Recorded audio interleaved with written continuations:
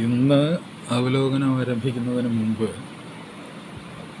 ഇന്നലെ ഇവിടെ അവതരിപ്പിച്ച ചില പ്രശ്നങ്ങളെക്കുറിച്ച് ആളുകൾക്ക് ശ്രോതാക്കളിൽ ചിലർക്ക് ന്യായമായ ചില സംശയങ്ങളുണ്ടായി. കാര്യം വെച്ച് കഴിഞ്ഞാൽ എന്തിനാണ് ഇങ്ങനെ ഈ കായിക വിനോദ രംഗത്തെപ്പറ്റി ഇത്ര നീട്ടിപ്പരത്തി പറഞ്ഞത് എന്നുള്ളതായിരുന്നു ഒരു പ്രധാനപ്പെട്ട സംശയം. അതിന്റെ ഇടയിൽ ഈ കാര്യങ്ങൾ സംസാരിക്കേണ്ടതുണ്ടോ എന്നുള്ളതാണ്. കാര്യം ഞാൻ നേരത്തെ സൂചിപ്പിച്ചതുപോലെ പാഠം മാസിക ഇവിടെ പ്രവർത്തിച്ചുകൊണ്ടിരുന്നപ്പോൾ അത് ഇപ്പോൾ നമ്മൾ ജീവിതത്തിന്റെ എല്ലാ രംഗങ്ങളെയും അവലോകനം ചെയ്തുകൊണ്ടുള്ള ഒരു പ്രതിമാസ പ്രസിദ്ധീകരണമായിരുന്നു. അത് നമുക്ക് പ്രതിമാസം എന്നുള്ള രീതിയിൽ തന്നെ നിലനിർത്താൻ കഴിയാതെ പോയി അപ്പോൾ ഇത് നമ്മൾ പറഞ്ഞിട്ടിപ്പോൾ ആ സാമാന്യമായിട്ട് ഒരു മണിക്കൂർ നേരത്തെ ഒരു പരിപാടി എന്നുള്ള രീതിയിൽ കൊണ്ടുവരുമ്പോൾ യഥാർത്ഥത്തിൽ ജീവിതത്തിന്റെ സമസ്ത മേഖലകളെയും സ്പർശിച്ച് പോകേണ്ടതാണ്. കാര്യം വെച്ച് കഴിഞ്ഞാൽ ഇതിന്റെ പ്രധാന വിഷയം രാഷ്ട്രീയമാണെങ്കിൽ രാഷ്ട്രീയം എന്ന് പറയുന്നത് നമ്മുടെ ജീവിതത്തിന്റെ സമസ്ത മേഖലകളെയും സ്പർശിക്കുന്നതാണ്. അപ്പോൾ ഈ പറഞ്ഞതുപോലെ കായിക വിനോദങ്ങൾക്ക്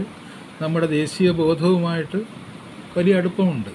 നമ്മുടെ ഈ ദേശീയതയുടെ ഏറ്റവും ഈ ഒരു മനോഹരമെന്ന് പറയാവുന്നതും അതേപോലെ തന്നെ ജുഗുപ്സാവഹം എന്ന് പറയാവുന്നതായിട്ടുള്ള പ്രകടനങ്ങൾ കാണുന്നത് സാധാരണഗതിയിൽ കായിക വിനോദ രംഗങ്ങളിലാണ്. അത് ദേശീയതയുടെ പേരിലാകാം ക്ലബ്ബുകളുടെ പേരിലാകാം പലതരത്തിലുള്ള പ്രകടനങ്ങൾ നമ്മൾ കാണുന്നുണ്ട്. അപ്പോൾ അതിന്റെ ഒരു എന്താണ് അത് പഴയ കാലങ്ങളിൽ നിന്ന് പുതിയ കാലങ്ങൾ ഇപ്പോൾ ജെസ്സി ഓവൻസിന്റെ ഒരു അയാൾ ഒരു ചാട്ടം ചാടുമ്പോഴത്തേക്ക് ആ ചാട്ടം യഥാർത്ഥത്തിൽ ഈ അഡോൾഫ് ഹിറ്റ്ലറെ തെറിപ്പിക്കുന്ന തരത്തിലുള്ളൊരു ചാട്ടമായിരുന്നു എന്ന് ഒരു കടങ്കഥ പോലെയെങ്കിലും നമ്മൾ പറയാറുണ്ട്. അതായത് ഒരു നീഗ്രോയുടെ കാലുകൾ ആ കാലുകളുടെ വേഗവും ആ കാലുകളുടെ ആ ദൂരമെന്ന് പറയുന്നത് മനുഷ്യസാധ്യം എന്നതിനേക്കാളേറെ മുന്നോട്ട് പോകുന്നത് കണ്ട് വംശീയ മഹിമയുടെ വക്താവായ അഡോൾഫ് ഹിറ്റ്ലർ ഞെട്ടിത്തെറിച്ചു പോയി എന്ന് പറയുന്നുണ്ട്. അവിടെ ഒരു രാഷ്ട്രീയമുണ്ട്. അന്ന് ഇപ്പോൾ യു എസ് പ്രതിനിധീകരിച്ചിരുന്ന ഒരു ടീം എന്ന് പറയുന്നത് ഇന്നും യു എസ് ഈ വംശീയ വെറിയുടെ ഏറ്റവും ആ ഈ വളരെ ഗർഹണീയമായിട്ടുള്ള കൃത്യങ്ങൾ നടന്നുകൊണ്ടിരിക്കുന്ന അതായത് വംശീയ വെറി എന്ന് പറയുന്നത് അമേരിക്കയ്ക്ക് ഒരിക്കലും ഒഴിവാക്കാനാവില്ല. അവിടുത്തെ നീഗ്രോ പോപ്പുലേഷൻ എന്ന് പറയുന്നതും അവിടുത്തെ നേറ്റീവ് പോപ്പുലേഷൻ എന്ന് പറയുന്നതും അവിടുത്തെ വെള്ളക്കാരനെ സംബന്ധിച്ചിടത്തോളം അതൊരു വലിയ സാംസ്കാരിക പ്രശ്നം തന്നെയാണ്. അത് ഒരു ഹെജ്മണിയുടെ പ്രശ്നം തന്നെയാണ്.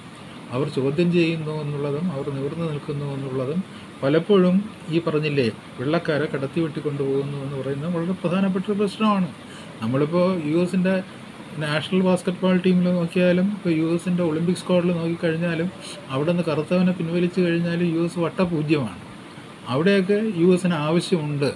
അവരുടെ ദേശീയതര പതാക ഉയർത്തി പിടിക്കണമെന്നുണ്ടെങ്കിൽ അവിടെ കറുത്ത വർഗക്കാരന്റെ സാന്നിധ്യം ആവശ്യമുണ്ട്. അവിടെ ഒരു അലാബാമ ഗവർണറും അലാബാമയിലെ ഗവർണറും അല്ലെങ്കിൽ ആ വേറൊരു വംശീയവാദിയും അവിടെ പ്രത്യക്ഷത്തിൽ പ്രത്യക്ഷ ഒരു നാ ഉയർത്തി അതിനെതിരെ സംസാരിക്കുകയില്ല. അപ്പോൾ ആവശ്യത്തിന് വേണ്ടി വിനിയോഗിക്കാവുന്ന ഒരു കായിക ശക്തി എന്നുള്ള അർത്ഥത്തിൽ ഇപ്പോഴും യുണൈറ്റഡ് സ്റ്റേറ്റ്സ് ഓഫ് അമേരിക്ക ഈ പറഞ്ഞില്ലേ കറുത്ത വർഗക്കാരന്റെ കറുത്ത തൊലിയുള്ളവനെ ആദരിക്കുന്നുണ്ട് എന്നുള്ളതാണ് ഒരു വസ്തുത. അപ്പോൾ അതിന്റെ ആ അത് തുടങ്ങി ഇങ്ങോട്ട് പറഞ്ഞില്ലേ നമ്മളിപ്പോൾ ഈ ഈ ഞാൻ ഇന്നലെ പ്രധാനമായിട്ടും സംസാരിച്ചത് ഇപ്പോൾ നമ്മൾ ഇപ്പോൾ കഷ്ടിച്ച് എനിക്ക് തോന്നുന്നു ഒളിമ്പിക്സിലും ഈ വിംബിൾട്ടണിലും അങ്ങനെയുള്ള ചില ടൂർണമെന്റുകളിൽ മാത്രമാണ് പ്രൊഫഷണൽസിനെ ഉൾക്കൊള്ളിക്കാതെ മത്സരം നടക്കുന്നത്. പക്ഷേ ഒരു പ്രൊഫഷണൽസ് അല്ലെങ്കിൽ പോലും ടെന്നീസ് എന്ന് പറയുന്ന ഭയങ്കരമായ ധനകാര്യ പ്രശ്നങ്ങളുള്ള ഒരു കളിയാണ്. അതിൽ നമുക്ക് ട്രെയിൻ ചെയ്ത് അതിനകത്ത് കയറി വരണമെന്നുണ്ടെങ്കിൽ വലിയ സാമ്പത്തിക ശേഷി സാമ്പത്തികമായിട്ടുള്ള പിന്തുണയും വേണ്ടി വരും എന്നുള്ളത് കൊണ്ടാണ് കേരളത്തിലൊന്നും നമുക്ക് അത്ര നല്ല ടെന്നീസ് കളിക്കാരുണ്ടാകാതെ പോകുന്നത്. നമുക്ക് ഫുട്ബോളിൽ കളിക്കാരുണ്ടാകുന്നത് അതൊരു ചിലവ് കുറഞ്ഞ കളിയാണ്. അതിന്റെ ഒരു പ്രാക്ടീസിങ് എന്ന് പറയുന്നത് ഇപ്പോൾ ഐ വിജയനെ പോലെയുള്ളൊരു കളിക്കാരനൊക്കെ ഉയർന്നു വരാൻ കഴിയുന്നതെന്ന് പറഞ്ഞു കഴിഞ്ഞാൽ വെറുതെ പന്ത് പിറകിക്കൊണ്ട് നടക്കുന്ന ഒരാൾക്ക് ഒരു കൊച്ചുകുട്ടിക്ക് ഭാവിയിൽ ഒരു വലിയ വലിയ കളിക്കാരനാകാൻ വേണ്ടിയുള്ള ഒരു സിംപ്ലിസിറ്റി ആ ഗെയിമിനുണ്ട് എന്നുള്ളതുകൊണ്ടാണ്. ക്രിക്കറ്റ് പറയുമ്പോൾ കുറേ കൂടെ ഹാർഡായിട്ടുള്ള ഒരു പ്രശ്നമാണ്. അവിടെ ഇപ്പോൾ ഒരു നമ്മുടെ ഈ കൊച്ചു പയ്യൻ സഞ്ജു സാംസനെ പോലെയുള്ളൊരു കുട്ടി കടന്നു വരുന്നു എന്ന് പറയുന്നത് തന്നെ വളരെ സാഹസികമായൊരു കടന്നു വരലാണ് അവർക്ക് ഒരുപാട് ഭാഗങ്ങൾ കയറി മുറിക്കാനായിട്ട് ഉണ്ടായി വരും. അപ്പോൾ അതുകൊണ്ട് ആ കാര്യങ്ങളെപ്പറ്റി സംസാരിക്കുമ്പോൾ ഈ പുത്തൻ ധനാധിപത്യം നമ്മുടെ കായിക വേദിയെ അല്ലെങ്കിൽ അന്തർദേശീയ കായിക വേദിയെ എന്തുമാത്രം സ്വാധീനിച്ചിട്ടുണ്ട് എന്ന് വരുമ്പോൾ ഇപ്പോൾ പ്രധാനമായിട്ട് വരുന്നത് നമ്മളിപ്പോൾ വേൾഡ് കപ്പിന്റെ ഫുട്ബോൾ എന്ന് പറയുന്നത് പ്രൊഫഷണൽ ഫുട്ബോളാണ് ഒളിമ്പിക്സിൽ വരുമ്പോഴത്തേക്ക് ആ ഫുട്ബോളിന് ഒരു പ്രൊഫഷണൽ ഫുട്ബോളിന്റെ ഒരു വേദിയാകാൻ കഴിയില്ല എന്നാണ് ഇപ്പോഴും അങ്ങനെ ആയിരുന്നു എന്നാണ് എന്റെ ഒരു ഓർമ്മ.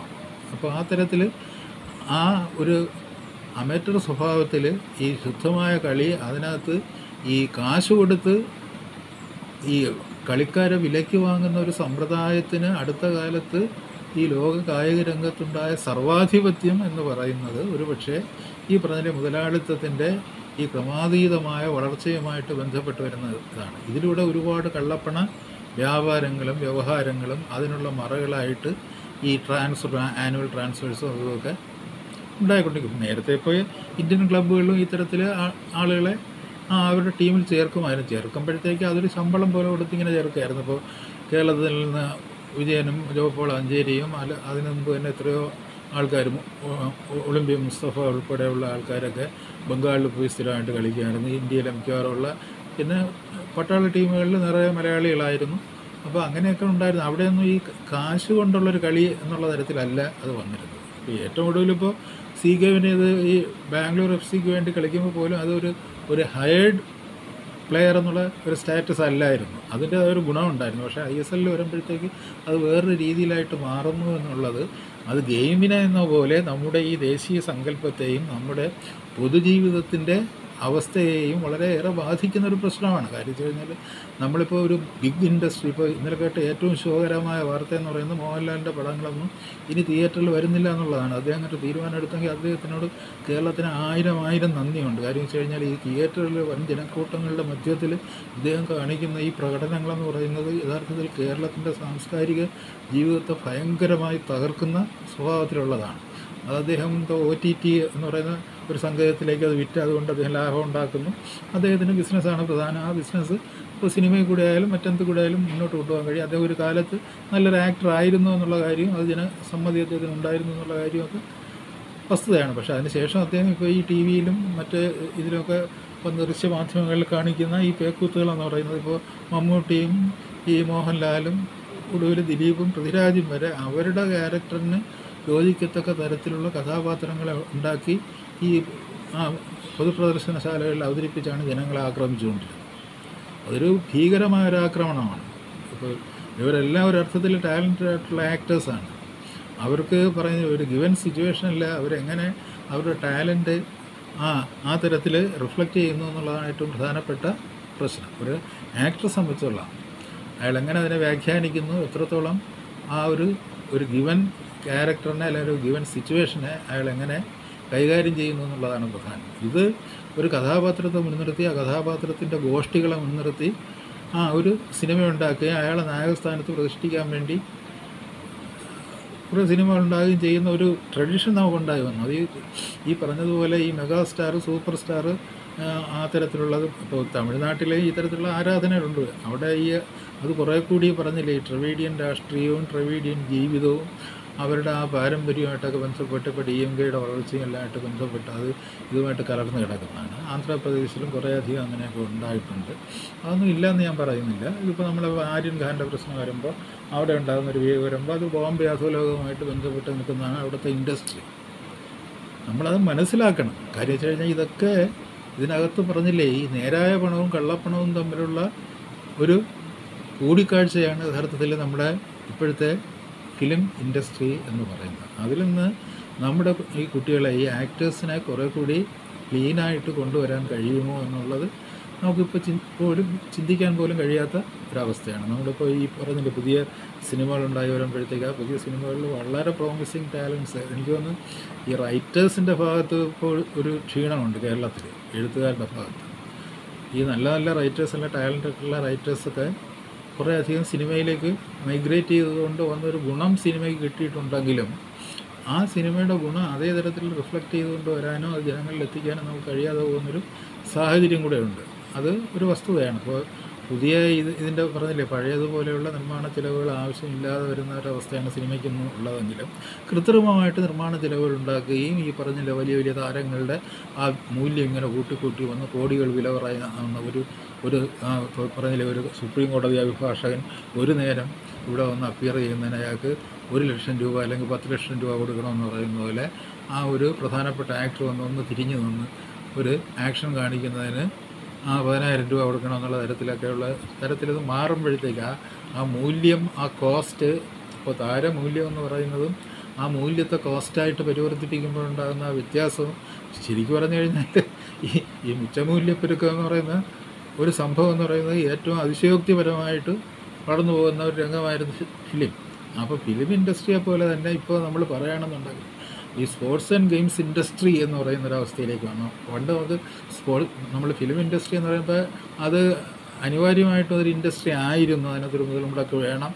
ആ പണം തിരിച്ചു പിടിക്കണം. ഇങ്ങനെയുള്ള രണ്ട് പ്രശ്നങ്ങൾ ഒരു ഒരു ഫിലിമിനെ അഭിമുഖീകരിക്കുന്ന വളരെ പ്രായോഗികമായ പ്രശ്നങ്ങളായിരുന്നുകൊണ്ട് അതൊരു ആവശ്യമുണ്ടായിരുന്നു പക്ഷേ ഈ സ്പോർട്സ് ആൻഡ് ഗെയിംസ് ഇൻഡസ്ട്രി എന്ന് പറയുന്ന ഒന്നില്ലായിരുന്നു. അത് മിക്കവാറും അതൊരു പറഞ്ഞില്ലേ ഒരു ദേശീയ തലത്തിൽ സംസ്ഥാന തലത്തിൽ അല്ലെങ്കിൽ പ്രാദേശിക തലത്തിൽ ഉയർന്നു വരുന്ന കായിക താരങ്ങൾക്ക് ആ കായിക വിനോദം ആ കായിക വിനോദം എന്ന് പറയുന്നത് രാഷ്ട്രങ്ങൾ തമ്മിലുള്ള ഒരു സംവാദം എന്നുള്ള രീതിയിൽ അതിന്റെ ഉന്നത ഔന്നത്യത്തിലെത്തുന്ന ആ തരത്തിലൊക്കെ പോയിക്കൊണ്ടിരുന്നൊരു കാലം ഉണ്ടായിരുന്നു. ഇപ്പോൾ അത് ആകെ അട്ടിമറിക്കപ്പെടുകയും ഈ ധനകാര്യ അധിനിവേശത്തിന്റെതായ ഒരു കാലഘട്ടത്തിൽ സാർവദേശീയ ധനകാര്യ അധിനിവേശത്തിന്റെതായ കാല കാലഘട്ടത്തിൽ ഈ പ്രൊഫഷണലിസം എന്ന് പറയുന്നത് ഇപ്പോൾ നാടകവേദിയുടെ കാര്യം തന്നെ എടുക്കുകയാണെന്നുണ്ടെങ്കിൽ ഇപ്പോൾ പ്രൊഫഷണൽ ഡ്രാമ എന്ന് പറയുന്ന ഒരു അനിവാര്യതയായി തീർന്ന ഒരു സാഹചര്യമുണ്ട്. കാര്യം വെച്ച് കഴിഞ്ഞാൽ നാടകം കളിക്കുന്നവന് അതുകൊണ്ടൊരു ജീവിതം കൂടെ ഉണ്ടാകണമെന്ന് പറയുമ്പോഴത്തേക്ക് വളരെ തുച്ഛമായിട്ടുള്ള വേതനം മാത്രം ആണ് നൽകിയാൽ പോലും ഈ പ്രൊഫഷണൽ നാടക സമിതികളിൽ ചെറിയ വേതനം പറ്റിയിട്ട് അഭിനയിക്കുന്ന നല്ല കലാകാരന്മാരുണ്ട്. പക്ഷേ അത് നമ്മൾ സ്ട്രിക്ട്ലി പ്രൊഫഷണലൊന്നും പറയാൻ പറ്റില്ല. അത് നിലനിൽപ്പിന് വേണ്ടിയുള്ള ഇതാണ്. അതിന് നമ്മൾ പ്രൊഫഷണൽ നാടകവേദി എന്ന് വിളിക്കുമെങ്കിലും പ്രൊഫഷണൽ നാടകവേദിക്ക് അതിന്റേതായ ചട്ടക്കൂടുകളുണ്ട്. അത് ഒരുപക്ഷെ മടുപ്പുളവാക്കുന്നതാണ്. അതിൽ നിന്ന് പുറത്ത് കിടക്കാൻ വേണ്ടി അമേച്ചർ നാടകവേദിയിൽ പണ്ട് മുതലേ പുതിയ സംരംഭങ്ങൾ വന്നിട്ടുണ്ട്. പക്ഷേ അതിന് ഒരു ജനകീയമായ ഒരു അപ്പീൽ ഉണ്ടാക്കാൻ നമുക്ക് ഇതുവരെ കഴിഞ്ഞിട്ടില്ല. ആ ഒരു അകലം എന്തുകൊണ്ട് സംഭവിക്കുന്നുള്ളത് എന്ന് പറയുന്നത് കലാപരമായൊരു പ്രശ്നമാണ്. ഞാനിപ്പോൾ അതിലേക്ക് കടക്കില്ല ഞാൻ പറഞ്ഞുകൊണ്ട് വന്നത് ഈ ഡീസെൻട്രലൈസേഷൻ കഴിഞ്ഞൊരു മുപ്പത് വർഷക്കാലത്തിനിടയ്ക്ക് നമ്മുടെ ജീവിതത്തിന്റെ സമസ്ത രംഗങ്ങളിലും വന്നിരിക്കുന്ന ഒരു പ്രൊഫഷണലിസമാണ് ഇപ്പോൾ ഉദാഹരണത്തിന് ഒരു മൂന്ന് നാല് തവണ ഞാനിങ്ങനെ ഈ പാർട്ടി സർവീസിൽ പലരുമായിട്ട് സംസാരിക്കുമ്പോഴത്തേക്ക് നമ്മുടെ ഒരു പ്രമുഖ നേതാവിന്റെ ആരാധകൻ പറയുന്നത് വെച്ച് കഴിഞ്ഞാൽ അദ്ദേഹത്തിന്റെ ആ പ്രൊഫഷണലിസമാണ് പാർട്ടിയെ ഇത്തരത്തിൽ നയിച്ചു കൊണ്ടുപോകുന്നത്. അദ്ദേഹം ഒരു പ്രൊഫഷണലാണ് എന്നാണ് പറയുന്നത്. രാഷ്ട്രീയം ഒരു പ്രൊഫഷൻ എന്ന് പറയുന്നതിനേക്കാൾ ഒരു ഇൻഡസ്ട്രി അല്ലെങ്കിൽ ബിസിനസ് എന്ന് പറയുന്നതിന് സമാനമായ ഒരിതാണ്. ഇത് വളരെ ആദരവോടെ ഒരാൾക്ക് കൊടുക്കുന്ന ഒരു അലങ്കാരപദമാണ് അപ്പോൾ ആ ജനറലായിട്ട് വന്ന ആ പ്രൊഫഷണലിസം നമ്മുടെ ജീവിതത്തിന്റെ സമസ്ത രംഗങ്ങളെയും എങ്ങനെ ബാധിക്കുന്നു? ഇപ്പോൾ പറഞ്ഞില്ലേ ഒരു സ്പോർട്സ് റിവ്യൂ ഒന്നും നടത്താനുള്ള ഒരു സ്പേസ് ഇതിനകത്തില്ല. ഇപ്പോൾ നമ്മൾ പറഞ്ഞില്ല ഇപ്പോൾ ഒരു ടൂർണമെന്റ് ഇപ്പോൾ ടി ട്വന്റി ടൂർണമെന്റ് നടന്നുകൊണ്ടിരിക്കുമ്പോൾ അതിനകത്ത് എങ്ങനെയാണ് ടാലന്റ് പരീക്ഷിക്കപ്പെടുന്നത്? ഞാൻ പറഞ്ഞില്ലേ രാഷ്ട്ര സംവാദം എന്ന് പറയുന്ന ആ ഒരു ഏർപ്പാട് ആ തരത്തിലുള്ള ഒരു കണ്ടസ്റ്റ് എങ്ങനെയാണ് വളരെ ആരോഗ്യകരമായി നിർവഹിക്കപ്പെടുന്നത് ചോദിച്ചാൽ അതിന്റെ നില വളരെ ശോചനീയമാണ്. നമുക്ക് പറയാതിരിക്കാൻ പറ്റില്ല. അപ്പോൾ അതിൽ ഇപ്പോൾ ഇന്ത്യയ്ക്ക് വരുന്ന തിരിച്ചടികൾക്ക് കാരണം എന്താണ്? അത് പലതും ഒക്കെ പരിശോധിക്കേണ്ടി വരും പലതും ഒക്കെ അതിനെ പറ്റി വളരെ വിശദമായിട്ട് സംസാരിക്കേണ്ടി വരും. അപ്പോൾ ആ കാര്യം ഞാനിവിടെ ഇതിനകത്ത് ഉന്നയിച്ചുകൊണ്ട് വന്നത് ഈ പ്രൊഫഷണലൈസേഷൻ എന്ന് പറയുന്ന അല്ലെങ്കിൽ ഇൻഡസ്ട്രിയലൈസേഷൻ അല്ല അല്ലാതെ നമ്മുടെ കലാകായിക രംഗങ്ങളിൽ വന്നിരിക്കുന്ന ഒരു വ്യവസായവൽക്കരണം പ്രത്യേകിച്ച് ഈ ചിത്രമെഴുത്തുകാരുടെ കഥയാണ് അതിലേറ്റവും പ്രസക്തമായിട്ട് വരുന്നത്. അവർക്ക് നിലനിൽപ്പിന് മാർഗങ്ങളില്ല കാര്യം വെച്ച് കഴിഞ്ഞാൽ പണ്ടൊക്കെയാണെന്ന് പറഞ്ഞു കഴിഞ്ഞാൽ ഏതെങ്കിലും ഒരു ഒരു വലിയ പണക്കാരൻ ഈ ചിത്രം കാണാനായിട്ട് വരുന്നു. ചിത്രം കാണാൻ വരുമ്പോൾ അയാൾക്ക് കണ്ട ഒന്നും മനസ്സിലാകാത്ത ഒരാളായതുകൊണ്ട് ആ അതിൽ ഏതെങ്കിലും ഒരു ഫ്രെയിം കണ്ടിട്ട് അയാൾ ഒരു പത്ത് ലക്ഷം രൂപയ്ക്ക് വിലയ്ക്ക് വാങ്ങിക്കൊണ്ട് വീട്ടിൽ എവിടെയെങ്കിലും കൊണ്ടുവയ്ക്കുകയോ കുറച്ച് നാളത് ഉപയോഗിച്ച് വയ്ക്കുകയോ അല്ലെങ്കിൽ പിന്നെ ഏതെങ്കിലും മോൺസൺമാർ ആർക്കത് ആരാണ് ഇതാണെന്ന് മനസ്സിലാക്കിയിട്ടൊന്നും അല്ല. അപ്പോൾ ആ തരത്തിൽ കുറേ പേര് വന്നത് പർച്ചേസ് ചെയ്യും എന്നുള്ളൊരർത്ഥത്തിൽ അതിനൊരു വിപണിയൊന്നുമില്ല. ഇന്ത്യയിൽ ഇപ്പോഴും അതിനൊരു വിപണിയില്ല.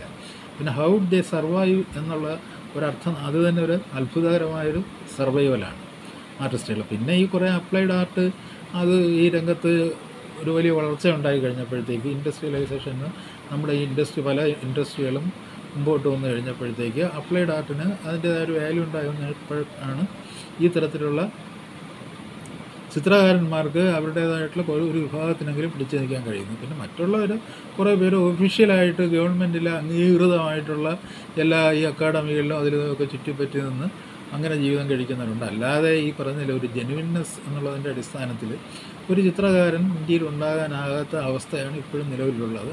അതിന് പ്രൊഫഷണലിസം വന്ന് മൂടുന്നതിന്റെ ചില ഇതൊക്കെയാണ് ഈ നമ്മളിവിടെ പറഞ്ഞില്ലേ മറ്റേ കൃഷ്ണമാചാരി ബോസും മറ്റും ഒക്കെ സംഘടിപ്പിച്ച ആ മേളകളെന്നൊക്കെ പറയുന്നത് അതിനെ ഒരു പ്രൊഫഷണൽ ട്രാക്കിലേക്ക് കൊണ്ടുപോകാൻ വേണ്ടിയുള്ള ഒരു ശ്രമമായിരുന്നു. അത് ഒരർത്ഥത്തിൽ അത് പറഞ്ഞില്ലേ ഇവരുടെ ചിത്രകാരന്മാരുടെ സർവൈവലിന് വേണ്ടിയുള്ളതാണ്. പക്ഷേ അതിനകത്ത് വരുന്ന സംഭവം എന്ന് പറയുന്നത് അതിനെ പ്രൊഫഷണൽ ട്രാക്കിലേക്ക് കൊണ്ടുപോകാൻ പണം മുടക്കുന്നവൻ ഈ ചിത്രകലയുടെ അധിപതിയായി തീരുന്നു എന്ന് പറയുന്ന ഒരു ദുരന്തം കൂടി അതിനകത്ത് സംഭവിച്ചിട്ടുണ്ട്. അതിന്റേതായ അഗ്ലിനെസ് അതിനകത്തുണ്ടായിരുന്നു? അതിനകത്ത് കലാമൂല്യമാണോ നിർണയിക്കപ്പെടുന്നത് എന്നുള്ളതുണ്ടായിരുന്നു. നമുക്കൊരു എക്സ്പോഷർ കിട്ടുക എന്ന് പറയുന്ന ഒരു ചിത്രകാരന്റെ ഒരു പ്രശ്നത്തെ ഒരു പരിധിവരെ അതിന് സാന്ത്വനപ്പെടുത്താൻ കഴിയുന്നുണ്ടെങ്കിൽ പോലും അവിടെ തിരഞ്ഞെടുക്കപ്പെടുന്നതും പ്രദർശിക്കപ്പെടുന്നതും ഒക്കെ ശരിക്കും ഈ കാലവുമായിട്ട് ബന്ധപ്പെട്ട ഒരു റിയാക്ഷനാണ് നമ്മളിപ്പോൾ ഒരു കാലഘട്ടത്തിൽ പറഞ്ഞില്ല ഇപ്പോൾ വികാസം എങ്ങനെയാണ് റോട്ടായിട്ട് വന്നത്? സറിയലിസ്റ്റുകൾ എങ്ങനെയാണ് ഒരു ചിത്രകലയിലാണ് ആദ്യത്തെ റിവോൾട്ടുകളൊക്കെ ഉണ്ടായി വരുന്നത്.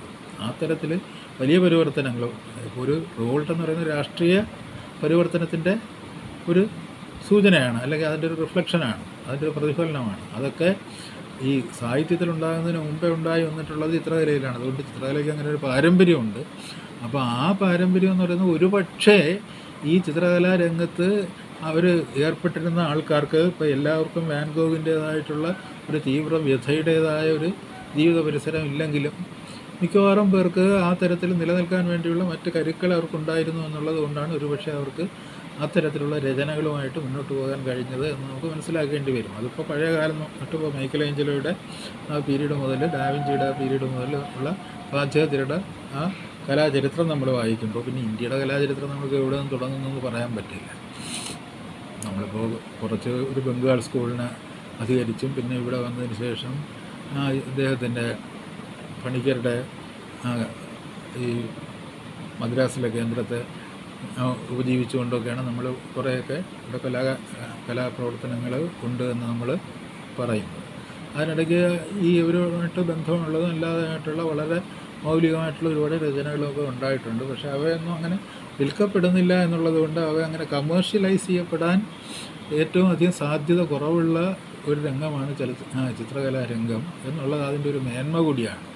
അവർ പട്ടിണി കിടന്നായാലും ഒരു തെരുവാധാരമായാലും അവരങ്ങനെ പോകുന്നു എന്നുള്ളതാണ്. ഇപ്പോഴീ ചുമർ ചിത്രങ്ങളുടെ ഒരു മൂവ്മെന്റ് വന്നത് അതൊരു നല്ലൊരു സംഭവമായിരുന്നു. പക്ഷേ അവിടെയും വന്നത് വളരെ ഈ നിക്ഷിപ്തമായ ചില താല്പര്യങ്ങൾക്ക് വേണ്ടി ചുവരെഴുതുക എന്നുള്ള തരത്തിൽ ഒഫീഷ്യലായിട്ടുള്ള ഗവൺമെന്റ് സപ്പോർട്ടോടുകൂടിയുള്ള ഒരു ചുമരെഴുത്ത് എന്ന് പറയുന്നത്. ചുമരെഴുത്ത് അല്ലെങ്കിൽ ഒരു കാർട്ടൂൺ എന്ന് പറയുന്നത് യഥാർത്ഥത്തിൽ മതിലുകളിൽ നമുക്ക് വളരെ ഗംഭീരമായിട്ട് ഒരു ജനകീയമായ ചിത്രകലയുടെ രൂപങ്ങൾ ആവിഷ്കരിക്കാവുന്നതാണ്. പക്ഷേ അതിന് സാധ്യതയില്ലാതായി തീർന്നത് അതിൽ വരുന്ന രാഷ്ട്രീയ താല്പര്യങ്ങളാണ് അത് അതിനെ ഇല്ലാതാകുന്നത് ഇപ്പോൾ ഇത്രയും ഒരു കാര്യം കൂടി പറഞ്ഞത് ഇപ്പോൾ എന്തിനെന്നല്ല ഇതൊക്കെ പറയാൻ പോയി എന്ന് പറഞ്ഞു കഴിഞ്ഞാൽ ഇവിടെ നമ്മൾ എല്ലാ ദിവസവും ചർച്ച ചെയ്തുകൊണ്ടിരിക്കുന്ന ഈ ധനകാര്യ അധിനിവേശത്തിന്റെ ഒരു ആ ഒരു ഉൾത്തള്ളൽ എന്ന് പറയുന്നത് നമ്മുടെ ഈ കായിക വിനോദരംഗത്തെ രംഗത്തെ ഏതാണ്ട് പൂർണമായും കീഴടക്കി. കായിക വിനോദരംഗം ഏതാണ്ട് ഇപ്പോൾ സിനിമ പോലെ തന്നെയുള്ളൊരു ഇൻഡസ്ട്രി ആയിട്ട് മാറി. സിനിമ ഒരു കലയാണ്. പക്ഷേ മറ്റുള്ള കലകളെല്ലാം വ്യവസായവൽക്കരിക്കുന്നത് പോലെ അല്ല നമ്മൾ സിനിമയെ വ്യവസായവൽക്കരിക്കുന്ന അതിന്റെ ഒരു സാങ്കേതിക വിദ്യയുടേതായിട്ടുള്ള ഇതുകൊണ്ടോ അതിന്റെ ചിലവിന്റെ സാധ്യത കൊണ്ടോ അതിന്റെ പ്രദർശനത്തിന്റെ സവിശേഷത കൊണ്ടോ ഒക്കെ അതിനൊരു ഇൻഡസ്ട്രിയുടെ ഒരു രൂപം കൂടി ആർജിക്കേണ്ടതായിട്ട് വന്നു. പക്ഷേ ആ ഇൻഡസ്ട്രി ആയിട്ട് നിന്നുകൊണ്ട് തന്നെ അതിൽ നിന്ന് തന്നെയാണ് ഏറ്റവും ശക്തമായ സിനിമയാണ് ഏറ്റവും ശക്തമായ കലാരൂപം എന്ന് നമ്മളെ ബോധ്യപ്പെടുന്ന ഒട്ടനവധി ചലച്ചിത്രങ്ങൾ വന്നിട്ടുള്ളത്. ഇപ്പോൾ ഇതിൽ ഏറ്റവും എടുത്തു പറയേണ്ടതെന്ന് പറഞ്ഞു കഴിഞ്ഞാൽ ഒരു തെരുവിൽ കൊല ചെയ്യപ്പെട്ട് വീണ് കിടക്കുന്ന ഒരു ചലച്ചിത്രകാരൻ നമ്മുടെ ചരിത്രത്തിലുണ്ട്. അദ്ദേഹത്തിന്റെ പേര് പസോളിനിയാണ്. അദ്ദേഹം ഉണ്ടാക്കിയതുപോലെയുള്ള ചിത്രങ്ങൾ ഒരുപക്ഷെ ഇവിടെ വളരെ മഹാന്മാരായിട്ടുള്ള ചലച്ചിത്രകാരന്മാരുണ്ടായിട്ടുണ്ട്. നമ്മുടെ നാട്ടിൽ തന്നെ മഹാന്മാരായിട്ടുള്ള ചലച്ചിത്രകാരന്മാരുണ്ടായിട്ടുണ്ട്. പക്ഷേ പസോളിനി ചെയ്തതുപോലെയുള്ള ആ തരത്തിൽ പറഞ്ഞു നമ്മളെ വല്ലാതെ അബ്സോർവ് ചെയ്യുന്ന ചിത്രങ്ങൾ വേറെ ആർക്കും ഉണ്ടാക്കാൻ കഴിഞ്ഞില്ല. എനിക്ക് തോന്നുന്നു ഒരു പക്ഷേ നിങ്ങളവരുടെ ആരാണ് ഗ്രേറ്റസ്റ്റ് എവർ ഫിലിം മേക്കർ എന്ന് ചോദിച്ചു കഴിഞ്ഞാൽ അത് പസോളിനിയാണെന്ന് പറയും. ഏറ്റവും അധികം തമസ്കരിക്കപ്പെട്ടത് ആരാണെന്ന് ചോദിച്ചാൽ അതും പസോളിനി തന്നെയാണെന്ന് പറയും. കാര്യം വെച്ച് കഴിഞ്ഞാൽ അദ്ദേഹം പറഞ്ഞില്ല തെരുവ് വേശികളുടെയും പിമ്പുകളുടെയും ഒക്കെ ജീവിതം ആവിഷ്കരിക്കുമ്പോൾ അവിടെ മുതൽ ഈഡിപ്പസും കാന്റർബറി ടൈൽസും ഡാൻഡയും ഒക്കെ അദ്ദേഹം ചിത്രീകരിക്കാൻ ശ്രമിക്കുമ്പോഴത്തേക്ക് അവിടെയൊക്കെ ഉണ്ടായി വരുന്ന പറഞ്ഞില്ല ആ പറഞ്ഞില്ല അദ്ദേഹത്തിന്റെ ആ ഒരു അറിവിന്റെ മണ്ഡലത്തിൽ നിന്ന് എങ്ങനെയാണ് ഈ പറഞ്ഞില്ലേ ജീവിതത്തെ സംബന്ധിച്ചുള്ള ചരിത്രത്തെ പറ്റിയുള്ള ഒരു ജ്ഞാനബോധം രൂപപ്പെട്ടു വരുന്നതെന്നും അതിനെ എങ്ങനെയാണ് സജീവമായിട്ട് ഒരു കോണ്ടംപ്രൈനിറ്റിയുമായിട്ട് ബന്ധിപ്പിക്കുന്നതെന്നും വ്യാഖ്യാനിക്കുന്നതെന്നും നമ്മൾ മനസ്സിലാക്കുമ്പോൾ യഥാർത്ഥത്തിൽ ഫാസിസത്തിനെതിരെ ഏറ്റവും ശക്തമായ ആക്രമണം നടത്തിയ പസോളിനിയാണ് അല്ലാതെ വേറെ ആരുമല്ല. ഇതിനേക്കാൾ തീവ്രമായിട്ട് ആക്രമിക്കാൻ പറ്റില്ല.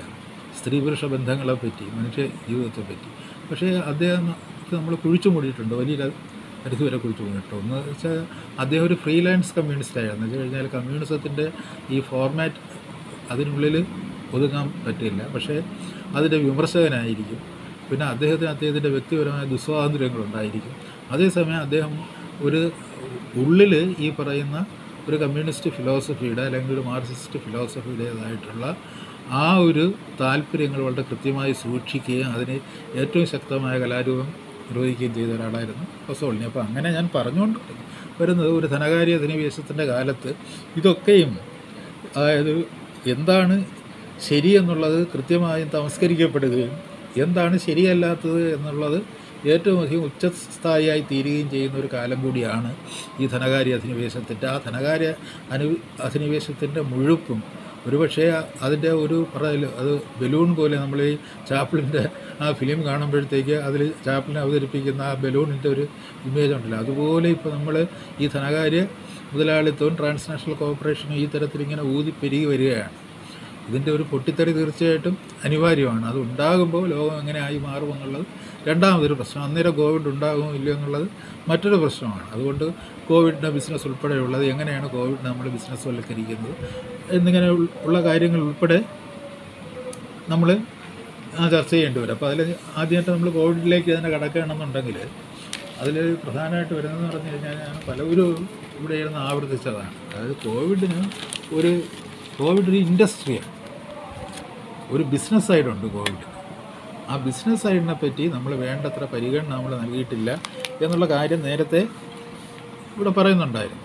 ഇപ്പോൾ ഏറ്റവും കൂടുതൽ പറഞ്ഞാൽ നമ്മൾ എന്തുകൊണ്ടാണ് കോവിഡ് കുറച്ചെങ്കിലും കേരളത്തിൽ നിലനിർത്തണം എന്നുള്ളതിൽ നമ്മൾ വളരെ ജാഗ്രത കാണിക്കുന്നത് എന്തുകൊണ്ടാണ്? അല്ലെങ്കിൽ അങ്ങനെ വരുത്തി തീർക്കാൻ നമ്മൾ ശ്രമിക്കുന്നത് എന്തുകൊണ്ടാണ് എന്ന് ചോദിക്കുമ്പോൾ ഇന്നത്തെ മനോരമ പത്രത്തിൽ വന്നിരിക്കുന്ന ഒരു വളരെ അപ്രധാനമായിട്ടുള്ളതാണ്. കോവിഡ് ഇന്നലെ എന്ന് പറഞ്ഞാൽ ആറായിരത്തി അഞ്ഞൂറ്റി നാൽപ്പത്താറ് പേർക്കുള്ള ആറായിരം ഏഴായിരം റേഞ്ചിൽ അതിങ്ങനെ നിൽക്കുകയാണ്. അതങ്ങനെ അങ്ങോട്ടും ഇങ്ങോട്ടും മാറുന്നില്ല. പല മാറ്റങ്ങളും ഉണ്ടായി വന്നിട്ടുണ്ട് പിള്ളേരൊക്കെ കൊച്ചു കുട്ടികളൊക്കെ സ്കൂളുകളിലൊക്കെ പോയി തുടങ്ങിയിട്ടുണ്ട്. ആളുകളൊക്കെ കുറേശ്ശെയൊക്കെ ശ്വാസോച്ഛ്വാസം ചെയ്യുന്നതിൽ തെറ്റില്ല.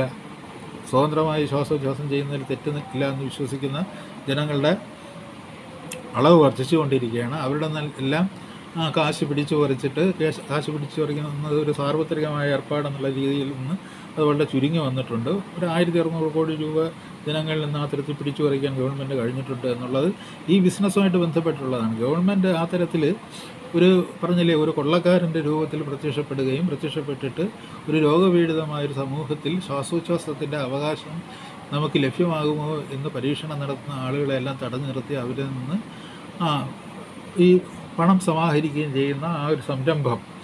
ആ സംരംഭത്തിൽ നിന്ന് കോടികൾ ഉണ്ടാക്കാൻ കഴിയും നമ്മൾ എങ്ങനെയാണ് നമ്മുടെ ഈ സാമ്പത്തിക സ്ഥിതി നിലനിർത്തുന്നത് എന്ന് ചോദിക്കുമ്പോൾ വരുന്നൊരു പ്രധാനപ്പെട്ട ഒരു ഉത്തരമാണ് നമ്മുടെ പെട്രോളിന്റെ നികുതി വർദ്ധിക്കുമ്പോൾ എത്ര ആയിരം കോടികളാണ് നമ്മുടെ ഖജനാവിലേക്ക് വന്ന് കയറുന്നത്. അത് നമ്മൾ എങ്ങനെ നിരസിക്കും എന്നുള്ളത് വളരെ ന്യായമായൊരു ചോദ്യമാണ്. ആയിരത്തി അറുന്നൂറ് കോടി എന്ന് പറയുന്നത് നിസ്സാരമായൊരു തുകയാണോ?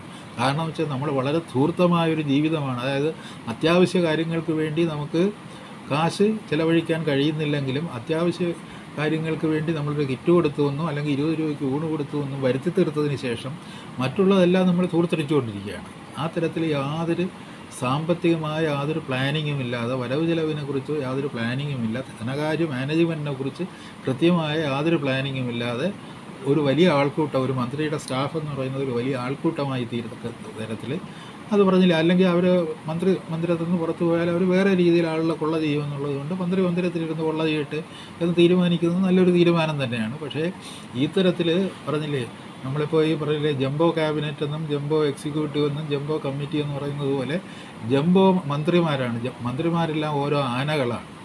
ആ ആനകൾക്ക് ഒരു ജംബോ മിനിസ്ട്രി ഉണ്ടായിരിക്കും. ആ മിനിസ്ട്രിയിൽ ഇരിക്കുന്ന ഒരു ബോർഡുകൾ മറ്റുള്ള അഭ്യാസങ്ങൾ അതിൽ അതിനൊക്കെ വേസ്റ്റ് ചെയ്യുന്ന കാശ് നമ്മൾ യഥാർത്ഥത്തിൽ പറഞ്ഞില്ലേ നമ്മൾ എങ്ങനെയാണ് സാമ്പത്തികമായി രക്ഷപ്പെടേണ്ടത് എന്നുള്ളതിനെ കുറിച്ച് ആലോചിക്കുമ്പോഴത്തേക്കും നമുക്ക് തിരിച്ചു വരാൻ വളരെ ബന്ധപ്പാടില്ലാതെ തിരിച്ചു വരാൻ കഴിയും. കാര്യം വെച്ച് കഴിഞ്ഞാൽ നമ്മൾ ഓസ്റ്ററിറ്റി മെഷേഴ്സ് വേണമെന്നൊന്നും പറയുന്നില്ല. ആ തരത്തിൽ ജീവിതം അങ്ങനെ ചുരുക്കിക്കൊണ്ടുവന്ന് നമ്മൾ ഈ പറഞ്ഞില്ലേ വളരെ ഇതെല്ലാം മുണ്ടൊക്കെ മുറുക്കി കെട്ടി ജീവിക്കണമെന്നില്ല. മുണ്ടൊന്നും മുറുക്കി കെട്ടാതെ സാധാരണ മനുഷ്യരെ പോലെ ജീവിക്കുമ്പോൾ തന്നെ ഒരു കുടുംബത്തിന്റെ കുടുംബം എന്ന് പറഞ്ഞാൽ പറഞ്ഞതുപോലെ ഒരു സമ്പദ്ക്രമമാണ്.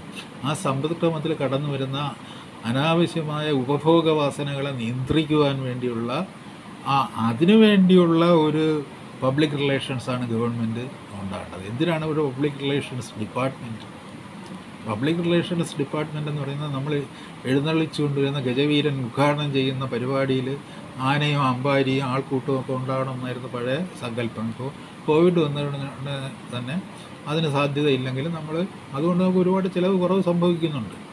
അതൊരു വലിയ നേട്ടമാണ്. നമ്മുടെ ട്രഷറിയുടെ ഒരു നേട്ടമാണ്. എനിക്ക് കാലകാലം ഒരുപക്ഷേ ഇതെല്ലാം മാനേജ് കൊണ്ടുപോകാൻ കഴിഞ്ഞേക്കും ആ തരത്തിൽ അപ്പോൾ ഒരു കാലത്ത് അങ്ങനെയല്ല ചിലവാളിത്തമാണ്. പരമാവധി ചിലവഴിക്കുക വിപണിയെ സജീവമായി നിർത്തുക അതിലൂടെയാണ് നമ്മൾ അതിജീവിക്കുന്നത് എന്ന് പറയുന്ന ആ ഒരു പക്ഷേ കെയ്ൻസ് പറഞ്ഞു പോയതും പിന്നെ മറ്റു ചിലർ ഏറ്റു പറഞ്ഞതുമായ ഒന്നിൽ തൂങ്ങിക്കൊണ്ടാണ് നമ്മൾ ഈ ഉപഭോഗ സംസ്കാരത്തിന്റെ വക്താക്കളായിട്ട് മാറുകയും ചെയ്തു. ഇപ്പോൾ നമ്മളിപ്പോൾ ഒരു പബ്ലിക് റിലേഷൻസ് ഡിപ്പാർട്ട്മെന്റ് പ്രധാനമായിട്ടും നമ്മൾ ചിലവാക്കേണ്ടത് നമ്മൾ നമ്മുടെ ഒരു സാമ്പത്തിക സ്ഥിതിയെപ്പറ്റി ജനങ്ങളെ ബോധ്യപ്പെടുത്തുക എന്നുള്ളതാണ് പബ്ലിക് റിലേഷൻസിന്റെ പ്രധാനമായിട്ടുള്ള കർമ്മം അത് സത്യസന്ധതയോടെ ബോധ്യപ്പെടുത്തുകയും ജനങ്ങളുടെ ജീവിത ശൈലിയിൽ ഇപ്പോൾ ശൈലീപരമായ രോഗങ്ങളെന്ന് പറഞ്ഞിട്ട് ശൈലീജന്യമായിട്ടുള്ള മനുഷ്യന്റെ രോഗങ്ങളെന്നും പറഞ്ഞൊക്കെ നമ്മൾ പറയാറുണ്ടല്ലോ. അതിനേക്കാളുള്ള ജീവിത ശൈലീജന്യമായ ഏറ്റവും വലിയ രോഗം എന്ന് പറയുന്നത് ഉപഭോഗ സംസ്കാരമാണ്. അതിനെതിരെ എങ്ങനെ ഒരു ക്യാമ്പയിനിങ് നടത്താം എന്നുള്ള ആയിരിക്കണം പബ്ലിക് റിലേഷൻസിന്റെ ഈ സാഹചര്യത്തിലെ ഏറ്റവും പ്രധാനപ്പെട്ട കർത്തവ്യം എന്ന് പറയുന്നത്. പബ്ലിക് റിലേഷൻസ് എന്ന് പറയുന്നത് ജനങ്ങളെ കാര്യങ്ങൾ അറിയിക്കുക എന്നുള്ളതാണ്. ജനങ്ങളെ കാര്യങ്ങൾ അറിയിക്കുമ്പോഴത്തേക്ക് ജനങ്ങൾക്ക് ഒരു പറഞ്ഞില്ലേ ഒരു ശരിയായ ജീവിതശൈലി രൂപപ്പെടുത്തി കൊടുക്കുന്നതിനുള്ള ഒരു അഭ്യാസമായിരിക്കണം. എങ്ങനെ ഈ പറഞ്ഞില്ലേ ഗവൺമെന്റിന്റെ ഫണ്ട് നല്ല മിനുസമുള്ള കടലാസിൽ ആ വേണ്ടതും വേണ്ടാത്തതൊക്കെ അച്ചടിച്ചിറക്കി അങ്ങനെ ആളുകൾക്ക് വിതരണം ചെയ്തു. ആ തരത്തിൽ അതൊരു ഒരു ആചാരാനുഷ്ഠാനം പോലെ നടപ്പിലാക്കി. അതിൽ നമ്മൾ മുടിക്കുന്ന കോടികൾ ആ തരത്തിൽ പറഞ്ഞില്ലേ ഒരു പബ്ലിക് റിലേഷൻസിന്റെ ഓഫീസ് ഉണ്ടാകുമ്പോഴത്തേക്ക് ഒരു ജില്ലയെ കേന്ദ്രീകരിച്ച് ആ ജില്ലയുടെ പുനർനിർമ്മിതിക്ക് ആവശ്യമായ തരത്തിലുള്ള ഒരു ബോധം ജനങ്ങൾക്ക് ഉണ്ടാക്കി കൊടുക്കാൻ വേണ്ടിയുള്ള പ്രവർത്തനങ്ങളിലാണ് പബ്ലിക് റിലേഷൻസ് ഡിപ്പാർട്ട്മെന്റ് അതിന്റെ പ്രവർത്തനം കേന്ദ്രീകരിക്കേണ്ടതാണ്. അതാണ് പബ്ലിക് റിലേഷൻസ് എന്ന് പറയുന്നത്. ഗവൺമെന്റ് അതിന്റെ അടിത്തറ എന്ന് പറയുന്നത് ആ ജനങ്ങളുടെ ഈ സാമ്പത്തിക നില ഗവൺമെന്റിന്റെ സാമ്പത്തിക നില ആ തരത്തിലൊരു സാമ്പത്തികമായൊരു ഒരു ധാരണ ജനങ്ങളും ഈ ഭരണസ്ഥാപനവും തമ്മിൽ ഉള്ളൊരു സാമ്പത്തിക ബന്ധത്തിന്റെ ഇഴകൾ തുന്നിച്ചേർക്കുക എന്നുള്ളതായിരിക്കണം പബ്ലിക് റിലേഷൻസിന്റെ പ്രധാനപ്പെട്ട ധർമ്മം എന്ന് പറയുന്നത്. ആ തരത്തിൽ ജീവിതത്തിൽ ഒരു ജീവിത ശൈലി രൂപപ്പെടുത്തുന്നതിന് ആ തരത്തിൽ ആവശ്യാധിഷ്ഠിതമായ ഒരു ജീവിതശൈലി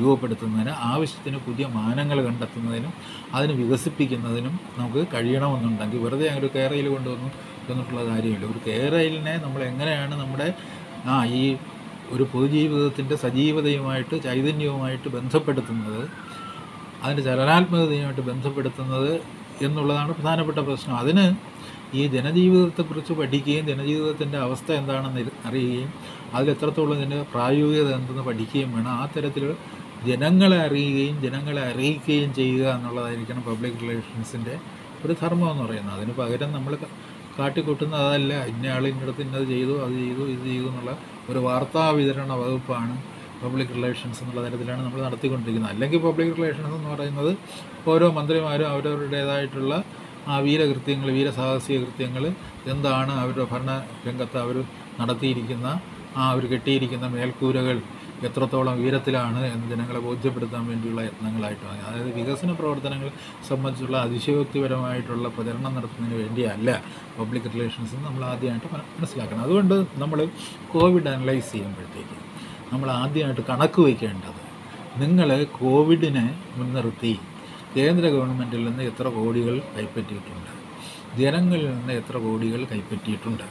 സംഭാവന വഴിയായിട്ട്. നിങ്ങൾ ഏതെല്ലാം ആവശ്യങ്ങൾക്കായി എന്തെല്ലാം ചിലവഴിച്ചിട്ടുണ്ട്. അതിൽ നിങ്ങൾക്ക് വന്നിട്ടുള്ള കഷ്ടനഷ്ടങ്ങൾ എത്രയാണ് എന്നുള്ളതാണ്. നിങ്ങൾ അതുകൊണ്ടുണ്ടാക്കിയ നേട്ടം എന്താണ്? അതുകൊണ്ടുണ്ടാക്കിയ നഷ്ടം എന്താണ് എന്നുള്ളത് നമുക്ക് പറഞ്ഞില്ല. ഇപ്പോൾ ഒരു മെഡിക്കൽ അനാലിസിസിന് നമുക്ക് പറ്റില്ല കാരണം വെച്ചാൽ മെഡിക്കൽ അനാലിസിസ് അനാവശ്യമാണ് എന്ന് സ്ഥാപിക്കപ്പെട്ടിരിക്കുന്നത് ഉണ്ട്. കാര്യം വെച്ച് കഴിഞ്ഞാൽ കോവിഡ് മൂലം യഥാർത്ഥത്തിൽ എത്ര പേർ മരിച്ചു എന്നറിയേണ്ട കാര്യമില്ല എന്ന് അതിനൊരു കൊട്ടത്താപ്പ് കണക്ക് കണക്ക് മതിയെന്ന് പറയുമ്പോഴത്തേക്ക് അതിനകത്തൊരു മെഡിക്കൽ അനാലിസിസ് വേണ്ട എന്നുള്ള ഒരു ഗവൺമെന്റ് തീരുമാനം എന്ന് പറയുന്നത്. അതിപ്പോൾ ഏത് കോടതി പറഞ്ഞാലും ഒരു ഗവൺമെന്റ് അതിന്റേതായ രീതിയിൽ സത്യസന്ധമായിട്ട് അതിന്റെ വിവരം നടത്താമെന്നുള്ളത് ഞാനിവിടെ പറഞ്ഞുകൊണ്ട് വരുന്നത് ഇതിന്റെ ചിലവുകളുടെ ആദ്യഘട്ടം മുതൽ ഈ ടെസ്റ്റ് ടെസ്റ്റ് എന്ന് പറഞ്ഞ് അവിടെ നിന്ന് അവിടെ എഫ് ഐ ഡിയിൽ നിന്നൊരു ആർപ്പ് വിളി കേൾക്കുമ്പോഴത്തേക്ക് ടെസ്റ്റ് ടെസ്റ്റ് എന്നും പറഞ്ഞിട്ട് ഇവിടെയും ഒരു ഏറ്റുവിളി ഉണ്ടാകുകയും അത് ആദ്യഘട്ടത്തിൽ അത്ര അപകടകരമായി വന്നില്ലെങ്കിൽ പോലും ഈ രണ്ടാം ഘട്ടം എത്തുമ്പോഴത്തേക്ക് ടെസ്റ്റുകളുടെ ഒരു അതിക്രമം കൊണ്ട് അതായത് നമുക്ക് ടെസ്റ്റുകൾ എന്ന് പറയുന്ന ഈ പറയുന്ന ടെസ്റ്റുകൾ അതിന്റെ പ്രൊസീജിയർ അനുസരിച്ച് ചെയ്യാനും അതിന്റെ ഒരു കൃത്യമായ റിസൾട്ട് കളക്ട് ചെയ്യാനും വേണ്ടിയിട്ടുള്ള ഒരു സംവിധാനം ഇല്ലാതിരിക്കെ നമ്മൾ ടെസ്റ്റുകൾ ചെയ്യുകയും പോസിറ്റീവ് എന്ന് പറയുന്ന ഒരു കൺസെപ്റ്റിന്റെ അടിസ്ഥാനത്തിൽ ഒരു വൈറസിന്റെ എലിമെന്റിനെ നിങ്ങൾ എവിടെയെങ്കിലും കണ്ടെത്തി കഴിഞ്ഞാൽ അത് കോവിഡ് തന്നെയാണെന്ന് തീരുമാനിക്കുന്ന ഒരവസ്ഥ ഉണ്ടാകുകയും ചെയ്യുക. അതിനുവേണ്ടി നിങ്ങൾ ചിലവഴിച്ചിട്ടുള്ള പണം എത്രയാണ്? അതിൽ നിങ്ങളും പ്രൈവറ്റ് ഹോസ്പിറ്റൽസുമായിട്ടുള്ള ആ ഉടമ്പടി പ്രകാരം അങ്ങോട്ടും ഇങ്ങോട്ടും കൊടുത്തിട്ടുള്ളതും വാങ്ങിയിട്ടുള്ളതിന്റെ കണക്ക് നിങ്ങൾക്ക് വെളിപ്പെടുത്താം. അതൊരു പ്രധാനപ്പെട്ട പ്രശ്നമാണ്.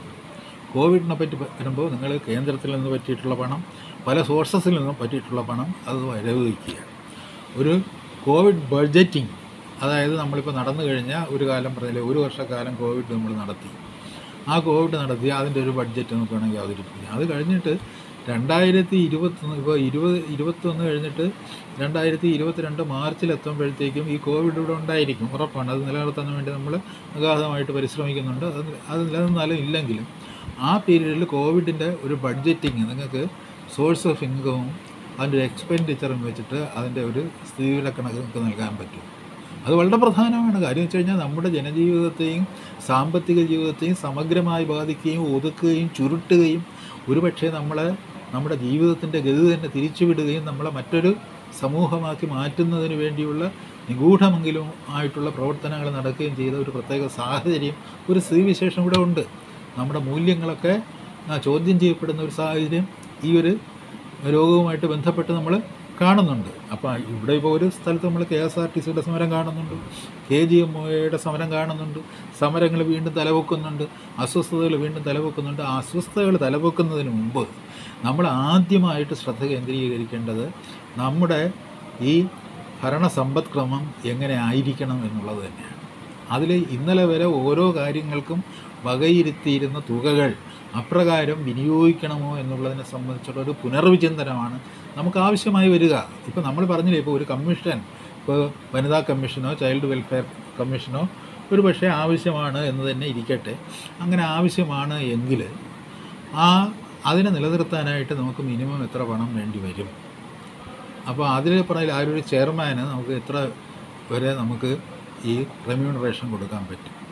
അത് ഈ നമ്മൾ സാധാരണഗതിയിൽ ഒരു ഒരു ഓണററി എമൗണ്ട് കൊടുത്താൽ ആ സർവീസിന് തയ്യാറായി വരുന്നവരുണ്ടാവും എന്നുണ്ടെങ്കിൽ അതിനൊരു മിനിമം റേറ്റിൽ അതിന്റേതായിട്ടുള്ള ആ ഒരു ഇത് നിശ്ചയിച്ചിട്ട് നമ്മൾ സാധാരണഗതിയിൽ എന്താണ് എന്തെങ്കിലും ഒരു ക്വാളിഫിക്കേഷൻ അടിസ്ഥാനമായിട്ടില്ല റിട്ടയർ ചെയ്തവർ അല്ലാത്തവർ അല്ലെങ്കിൽ ആ തരത്തിൽ പലതരം ആവശ്യതകളുള്ളവരും വിവശതകളുള്ളവരും എന്ന് കരുതുന്ന ആൾക്കാരെയാണ് ഇതിൽ ഉപയോഗിക്കുന്നത്. പിന്നെ യൂത്തും മറ്റുമൊക്കെ ആകുമ്പോഴത്തേക്ക് ആ കുറച്ച് ചെറുപ്പക്കാരെയൊക്കെ അതിനകത്ത് ഉപയോഗിക്കുന്നുണ്ട്. അവർക്കെല്ലാം ഒരു വലിയ തുക പറഞ്ഞില്ലേ ഇപ്പോൾ ഒരു ആ ഒരു ഇപ്പോൾ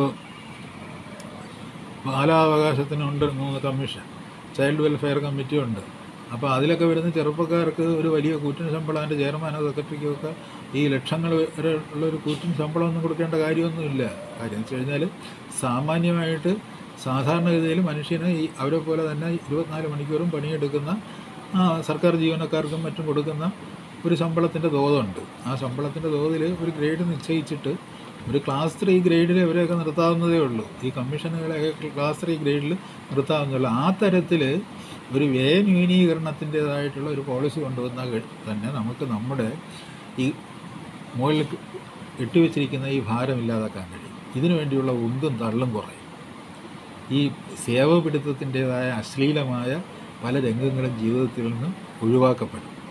ആ സേവപിടുത്തത്തിലൂടെ രാഷ്ട്രീയം അശ്ലീലവൽക്കരിക്കുകയാണ്. പെടുകയാണ് ആ ഒരു അവസ്ഥ ഇല്ലാതാകും. അപ്പോൾ ഞാൻ ഇതിപ്പോൾ പറയാൻ പ്രധാനപ്പെട്ട കാര്യം ഇപ്പോൾ ഗ്ലൗസും മാസ്കും വാങ്ങിയതിൽ ദുരൂഹത. രേഖകൾ കമ്പ്യൂട്ടറിൽ കാണാനില്ല.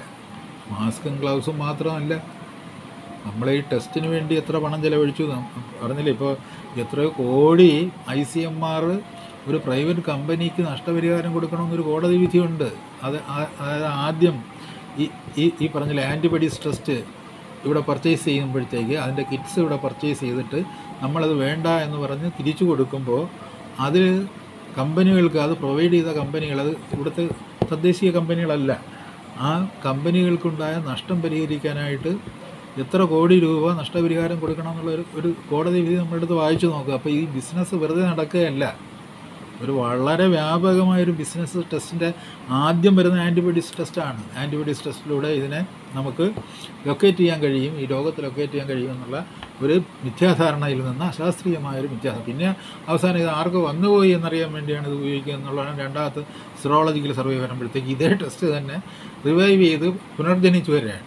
അന്ന് വേണ്ട എന്ന് പറഞ്ഞ് ഇത് കൊള്ളുകയില്ല എന്ന് പറഞ്ഞ് ഇതിന്റെ ആവശ്യമില്ല എന്ന് പറഞ്ഞ് ആ അവസാനം ശൈലജ ടീച്ചറും പറഞ്ഞ് ആദ്യം ആ ഇതാണ് വേണ്ടതെന്ന് പറഞ്ഞ് ശൈലജ ടീച്ചർ ഇതാണ് വേണ്ടത് എന്ന് പറയുന്ന ഐ സി എം ആറിന്റെ ഉദ്ദേ ഉദ്ദേശശുദ്ധിയെ മാനിച്ചുകൊണ്ട് അതാണെന്നൊക്കെ പറഞ്ഞ് സ്വീകരിച്ച് അത് വാങ്ങുകയും കൊടുക്കുകയും നിരസിക്കുകയും ഒക്കെ ചെയ്തു. അതുമൂലം നമുക്ക് എത്രമാത്രം നമ്മുടെ പൊതുഖജനാവിൽ നിന്ന് നഷ്ടമുണ്ടായി എന്നുള്ള കാര്യം നമ്മൾ പരിഗണിക്കണം. അതിപ്പോൾ കേരളത്തിന്റെ ഖജനാവിൽ നിന്നല്ല ഐ സി എം ആർ അത് പേ ചെയ്യേണ്ടി വരുമ്പോഴത്തേക്ക് അത് ഇന്ത്യൻ ഖജനാവിൽ നിന്ന് വരുന്ന ഒരു ദുര്യോഗമാണ് എന്ന് നമ്മൾ മനസ്സിലാക്കണം. അപ്പോൾ ആ തരത്തിൽ അത് ഈ ടെസ്റ്റുകൾ കേരളത്തിൽ ഇത്രയും കാലമായിട്ട് നടത്തിക്കൊണ്ടിരിക്കുമ്പോൾ ഈ ടെസ്റ്റുകൾക്ക് ടെസ്റ്റുകൾ നടത്തുന്നതിന് വേണ്ടിയുള്ള ആരോഗ്യ പ്രവർത്തകർക്ക് അതിന്റെ റിസൾട്ട് കൊണ്ടുപോകുന്നതിനും വരുന്നതിനും ഒക്കെയുള്ള സജ്ജീകരണങ്ങൾക്ക് മറ്റ് ചിലവുകൾക്ക് നിങ്ങൾ പറയുന്ന ഈ ആയിരത്തി അറുന്നൂറ് കോടിയൊന്നും ഒന്നും അല്ല. അത് വരുമ്പോഴത്തേക്ക് അതിന്റെ ഇടനിലക്കാരനുണ്ടാക്കിയ ലാഭത്തിന്റെ എത്രയോ ഒരു ചെറിയ ശതമാനം മാത്രമാണ് ആയിരത്തി അറുന്നൂറ് കോടി രൂപ എന്ന് നമ്മൾ അറിയുക. And it was a big business വളരെ കൃത്യമായിട്ട് പറയാൻ കഴിയും. അതായത് എന്റെയും നിങ്ങളുടെയും ചോര ഊറ്റി കുടിക്കുന്ന ഒരു ബിസിനസ്സായിരുന്നു ഈ പറയുന്ന ഈ പ്ര പരീക്ഷണ വ്യാപാരം എന്ന് പറയുന്നത്. നിങ്ങൾ നടത്തിയ യാതൊരു ശാസ്ത്രീയ അടിത്തറയുമില്ലാത്ത ഈ പരീക്ഷണ വ്യാപാരം എന്ന് പറയുന്നത് മനുഷ്യരക്തം ഊറ്റി കുടിക്കുന്ന ഒരു വളരെ ക്രൂരമായ മനുഷ്യനോട് ഒരു പ്രതികാര ബുദ്ധിയോട് ജനസഞ്ചയത്തോട് ഒരു പ്രതികാര ബുദ്ധിയോട് കാണിക്കാവുന്ന ഏറ്റവും വലിയ ക്രൂരതയായിരുന്നു ആ തരത്തിൽ നമ്മുടെ സാമ്പത്തികമായ അസ്ഥിവാരം തോണ്ടുന്ന തരത്തിലുള്ളൊരു പ്രവർത്തനമായിരുന്നു. ഇതിന് എവിടെ നിന്നെങ്കിലും നിങ്ങൾ പണം നിങ്ങൾ സമാഹരിച്ചിട്ടുണ്ടെങ്കിൽ ആ പണമൊക്കെ തന്നെയും ദുർവ്യയം ചെയ്യപ്പെടുകയായിരുന്നു. ആ അതായത് ഈ ടെസ്റ്റുകൾ വിഫലങ്ങളായിരുന്നു എന്നുള്ളത് മാത്രമല്ല ആ ടെസ്റ്റുകൾ വിഫലമായിരുന്നെങ്കിലും ഇത് ഫലവത്താണെന്നുള്ള വിശ്വാസത്തോടെ ഗവൺമെന്റ് അത് ചെയ്തതെങ്കിൽ പോലും അത് ഗവൺമെന്റിന് കൂടി അറിയാവുന്ന അതിന്റെ ഒരു വളരെ കൃത്യമായൊരു വശം. അത് ടെസ്റ്റ് ശരിയാണോ ഇല്ലയോ എന്നൊരു പക്ഷേ ഗവൺമെന്റ് പറയാൻ കഴിയുകയില്ല. പക്ഷേ ഈ ടെസ്റ്റിന്റെ പേരിൽ നടക്കുന്ന ബിസിനസ് നിങ്ങൾ ഈ പറയുന്ന ഈ ഗ്ലൗസിന്റെ പേരിലും മാസ്ക് ആ വാങ്ങിയതിന്റെ പേരിലും മാസ്ക് ഇൻഡസ്ട്രി ആയാലും ഗ്ലൗസ് ഇൻഡസ്ട്രി ആയാലും ആ ഇതിന്റെ കോട്ടും സൂട്ടും ഒക്കെ ആയാലും മറ്റു പലതരത്തിലുള്ള പറഞ്ഞില്ലേ ആശുപത്രി സജ്ജീകരണങ്ങൾ ഉണ്ടാക്കുന്നതിൽ. പിന്നെ ആശുപത്രികളെ എടുത്തെറിയുന്നതിൽ നിങ്ങൾ കാണിക്കുന്ന വ്യഗ്രത. ഇതിലൊക്കെ ഉണ്ടായിട്ടുള്ള സാമ്പത്തിക നഷ്ടം എന്താണ് എന്നുള്ളതിന്റെ ഒരു കണക്ക് നിങ്ങൾക്ക് നിയമസഭയിൽ വെളിപ്പെടുത്താൻ പറ്റുമോ? സത്യസന്ധമായിട്ട് അതിന്റെ കണക്ക് നിങ്ങൾ സമാഹരിച്ചിട്ടുണ്ടോ? നിങ്ങളിപ്പോൾ ഓരോ കമ്പനിയുമായിട്ട് ഓരോ കരാറിൽ ഏർപ്പെട്ടിട്ട് ഇത്രയധികം ടെസ്റ്റ് കിറ്റുകൾ നമുക്ക് ആർ ടി പി സി ആറിന്റെ ഇത്രയധികം ടെസ്റ്റ് കിറ്റുകൾ വേണമെന്ന് ആവശ്യപ്പെടുന്നു. അല്ലെങ്കിൽ പ്രൈവറ്റ് ഹോസ്പിറ്റൽസ് ഡയറക്റ്റായിട്ട് ആവശ്യപ്പെട്ടു വരുന്നുണ്ടെന്നാണ് ഇപ്പോഴൊക്കെ പറയുന്നത്. അതെനിക്ക് അറിഞ്ഞൂടാ അതുപോലെ വാക്സിൻ ഇൻഡസ്ട്രി വരുന്നു. വാക്സിൻ ഇൻഡസ്ട്രി വരുമ്പോഴത്തേക്ക് ആ ഒരു ചങ്ങാതി പറയുന്നത് കേട്ടോ അവിടെ നിന്ന് സൗജന്യമായിട്ട് കൊടുത്ത വാക്സിൻ എല്ലാം ഇവിടെ എണ്ണൂറ് കോടി രൂപ അതിൽ നിന്ന് ഇടനില ലാഭം ഗവൺമെന്റ് ഗവൺമെന്റ് ഇടനില ലാഭം ഉണ്ടാക്കി അത് ഗവൺമെന്റ് രജിസ്ട്രി വന്നെങ്കിൽ നല്ല കാര്യം തന്നെയാണ്. അതിനിപ്പോൾ ആരും കണ്ണീര് ഒഴിച്ചിട്ടൊന്നും കാര്യമില്ല. പക്ഷേ ആ ഒരു തരത്തിൽ ഈ പറഞ്ഞ ഇപ്പോൾ ഈ ഇന്ധന നികുതിയുടെ പ്രശ്നം വരുമ്പോൾ പോലും നമ്മളെങ്ങനെ ജീവിക്കും എന്നുള്ളൊരു പ്രശ്നമാണ്. ഇപ്പോൾ ഇയാൾ ഈ വില ഇങ്ങനെ കൂട്ടിക്കൂട്ടി കൊണ്ടുപോയില്ലായിരുന്നെങ്കിൽ കേരളത്തിന്റെ നില വളരെ പരിതാപകരമായി തീരുമായിരുന്നു. അതാണ് എന്റെ അവസ്ഥ. അപ്പോൾ കിട്ടിയ അവസരത്തിൽ കിട്ടിയത് ഞാൻ കയ്യിൽ നിന്ന് വിടില്ല എന്ന് പറഞ്ഞ് ധനകാര്യമന്ത്രി ഇരിക്കുന്നു എന്ന് പറയുന്നത് ധനകാര്യമന്ത്രിയുടെ ഒരു താല്പര്യമല്ല. അത് കേരളത്തിന്റെ താല്പര്യമാണ്. പക്ഷേ ആ കിട്ടിയത് കയ്യിലിരിക്കുന്നത് ചോർന്നു പോകുന്നത് ഏതൊക്കെ വിധത്തിലാണ് എന്ന് കണ്ടെത്തുന്നതിൽ ധനകാര്യമന്ത്രി പരാജയപ്പെടുന്നു എന്നുള്ളതാണ് കേരളത്തിന്റെ ചരിത്രം. അതുകൊണ്ട് ഇത് മനുഷ്യന് പ്രയോജനപ്പെടുന്നതാണോ ജനസമൂഹത്തിന് പ്രയോജനപ്പെടുന്നതാണോ അത് എങ്ങനെയാണ് കാര്യക്ഷമമായിട്ട് വിനിയോഗിക്കപ്പെടുന്നത് എന്നുള്ളത് ആലോചിക്കുമ്പോൾ ഇതിലൊരു വലിയൊരു പങ്ക് നമ്മൾ കിഫ്ബിയുടെ കടം വീട്ടാൻ വേണ്ടിയാണ് ഉപയോഗിക്കുക എന്ന് പറയുമ്പോഴത്തേക്ക് തൊലഞ്ഞു പോട്ടെ എന്നല്ലേ പറയാൻ പറ്റൂ. അതായത് ഈ ഈ പറഞ്ഞതുപോലെ ആളുകളുടെ പേര് ഈ അധികഭാരം അടിച്ചേൽപ്പിച്ച് ആൾ പണ്ടും അങ്ങനെ ആയിരുന്നല്ലോ. ഗവൺമെന്റ് വരുമാനം എന്ന് പറഞ്ഞാൽ നികുതിയുടെ പേരിൽ ടാക്സ് കളക്ടേഴ്സ് എന്ന് പറയുന്ന ഒരു വിഭാഗം. അതുകൊണ്ടാണ് ചുങ്കക്കാരും വേശികളും നിങ്ങളെക്കാളും മുമ്പേ സ്വർഗത്തിൽ പോകുമെന്ന് യേശു ക്രിസ്തു പറഞ്ഞ് യേശു ക്രിസ്തുവിന്റെ കാലം മുതലുണ്ടായിരുന്ന നാട്ടുരാജകൻ രാജാക്കന്മാർ ഭരിക്കുമ്പോഴാണ് ഇന്ത്യയിലെ ആദ്യത്തെ സ്വാതന്ത്ര്യ സമര കലാപം എന്ന് പറയുന്ന അഞ്ച് കലാപം ഉണ്ടായത്. ഈ ടാക്സ് കളക്ടേഴ്സും ഈസ്റ്റ് ഇന്ത്യ കമ്പനിയും സംയുക്തമായി ചേർന്ന് ആളുകളുടെ നേരെ നടത്തിയ ഒരു ആക്രമണത്തിന്റെ പ്രതികരണം എന്ന രീതിയിൽ ആളുകളിൽ നിന്നുള്ള ഒരു റിവോൾട്ടാണ് അത് ഉണ്ടായി വന്നിട്ടുള്ളത്. അപ്പോൾ ആളുകളെ ഞെക്കിപ്പഴിഞ്ഞ് പലതരത്തിലുള്ള കരങ്ങൾ വിരിച്ച് അതുകൊണ്ടാണേ നമ്മുടെ ഉപജീവനം എന്ന് പറയുന്ന ഒരു സർക്കാർ ഒരു പ്രോഡക്റ്റീവ് എന്റർപ്രൈസസ് എന്ന് പറയുന്നതിന്റെ ഒരു പരമ്പരകളിലൂടെ നമ്മുടെ രാജ്യത്തെ എങ്ങനെ അഭിവൃദ്ധിയിലേക്ക് കൊണ്ടുപോകാമെന്നുള്ളതിനെ പറ്റി യാതൊരു കൽപ്പനകളുമില്ലാത്ത ഒരു ഗവൺമെന്റ് വിദേശത്ത് കിട്ടുന്ന കിട്ടുന്ന തെട്ടൂരങ്ങൾ അതേപടി അനുസരിച്ച് കൊള്ളാമേ അതനുസരിച്ച് വല്ലതും ഇങ്ങ് ഇട്ട് തരണേ എന്ന് പ്രാർത്ഥിക്കുന്ന ഒരു ഗവൺമെന്റ് ആ ഒരു അവസ്ഥയിൽ നിന്ന് നമുക്ക് മാറാൻ കഴിയാത്തിടത്തോളം കാലം. ഒരു കോവിഡ് തന്നെ ഈ തരത്തിൽ നിങ്ങൾക്ക് അഴിമതി നടത്തുന്നതിന്. ഇപ്പോൾ കമ്പ്യൂട്ടറിൽ അതിന്റെ രേഖകൾ കാണാനില്ല. ഇപ്പോൾ ഗ്ലൗസിന്റെയും മാസ്കിന്റെയും മാത്രമല്ല നമ്മൾ വാങ്ങിക്കൂട്ടിയ വെന്റിലേറ്ററുകൾ വെന്റിലേറ്റർ കച്ചവടമുണ്ട് അതുപോലെ തന്നെ ഈ ഐ സി യു ബെഡുകളുണ്ട്. ഓക്സി ഓക്സിജനേറ്റഡ് ആയിട്ടുള്ള ആ എക്വിപ്മെന്റ്സ് നമ്മൾ വാങ്ങിയതും ആ തരത്തിൽ ആശുപത്രി വികസനം നടത്തിയതും അവയൊക്കെ ഇപ്പോൾ നിരുപയോഗമായി തീരുന്നതിന്റെയൊക്കെ കണക്കുകളുണ്ട്. ദീർഘ വീക്ഷണമില്ലാതെ നമ്മൾ ഈ ജാഗ്രത എന്ന് പറയുന്നത് അതിജാഗ്രതയും അനാവശ്യമായ ഒരു ജാഗ്രതയും എന്നുള്ള ഒരു ആവേഗത്തിൽ നിന്നുകൊണ്ട് ആ ആവേഗത്തെ ഒരു ബിസിനസ്സാക്കി പരിവർത്തിപ്പിക്കുകയും അത് കുറേ പേരുടെ സ്വകാര്യ ലാഭമാക്കി പരിവർത്തിപ്പിക്കുകയും ചെയ്തു എന്നുള്ളതാണ് കോവിഡിലെ ഏറ്റവും വലിയ ദുരന്തം. ജനങ്ങളാരും കോവിഡ് പിടിച്ച് മരിച്ചിട്ടില്ല. നിങ്ങളാരും കോവിഡിന് പ്രത്യേക ശുശ്രൂഷ കൊടുത്ത് ഒരു ജീവിയെയും ഈ കേരളത്തിന്റെ ഭൂമുഖത്ത് രക്ഷിച്ചിട്ടില്ല. അതും ഉറപ്പുള്ള കാര്യമാണ്. പിന്നെ നിങ്ങൾ എന്തിനാണ് ഇത്രയും കാശ് പലർക്കും കാശുണ്ടാക്കി കൊടുക്കാനുള്ള അവസരം ഉണ്ടാക്കി കൊടുത്തത്? അതിന്റെ കണക്കുകൾ കമ്പ്യൂട്ടറിലല്ല ലോകത്ത് എവിടെയും കാണാൻ പറ്റില്ല. ഇപ്പോഴും നിങ്ങൾ തുടർന്നുകൊണ്ടിരിക്കുന്ന ദിവസം നിങ്ങൾ എത്ര അറുപത്തി ഏഴായിരം പേരോ എഴുപതിനായിരം പേരെയോ പരിശോധിക്കുന്നു എന്ന് പറയും ഈ എഴുപതിനായിരം പേർക്ക് നിങ്ങൾ നടത്തുന്ന ഈ എഴുപതിനായിരം പരിശോധന അസഭ്യമാണ് എന്നുള്ളത് കൊണ്ട് അത് ജനവിരുദ്ധമാണ് എന്നുള്ളത് കൊണ്ട് അത് അനാവശ്യമാണ് എന്നുള്ളത് കൊണ്ട് അത് ഒരു റിസൾട്ടും നിങ്ങൾക്ക് നൽകുന്നില്ല എന്നുള്ളത് കൊണ്ട് ആ റിസൾട്ടിന്റെ അടിസ്ഥാനത്തിൽ നിങ്ങളിവിടെ യാതൊന്നും ചെയ്യുന്നില്ല എന്നുള്ളത് കൊണ്ട് പക്ഷേ അതൊരു ലോകമെമ്പാടുമുള്ള ഒരു അനുഷ്ഠാനമാണ് എന്നുള്ളത് കൊണ്ട് നമ്മളും ചെയ്യുന്നു എന്നുള്ള ന്യായീകരണം ഉണ്ടായിരിക്കുമ്പോൾ തന്നെ അത് ജന നമ്മുടെ ശരീരത്തിൽ തട്ടാത്ത രീതിയിൽ നമ്മുടെ സാമ്പത്തിക സ്ഥിരതയെ തകർക്കാത്ത രീതി സ്ഥിരത എന്ന് പറയുന്ന ഒന്നുമില്ല സാമ്പത്തിക സ്ഥിരത എന്നുള്ളത് നമ്മൾ ഒരു സങ്കല്പമാണ് സാമ്പത്തിക ഭദ്രത എന്ന് വേണമെങ്കിൽ പറയാം. ആ ഭദ്രതയും നമുക്കില്ല.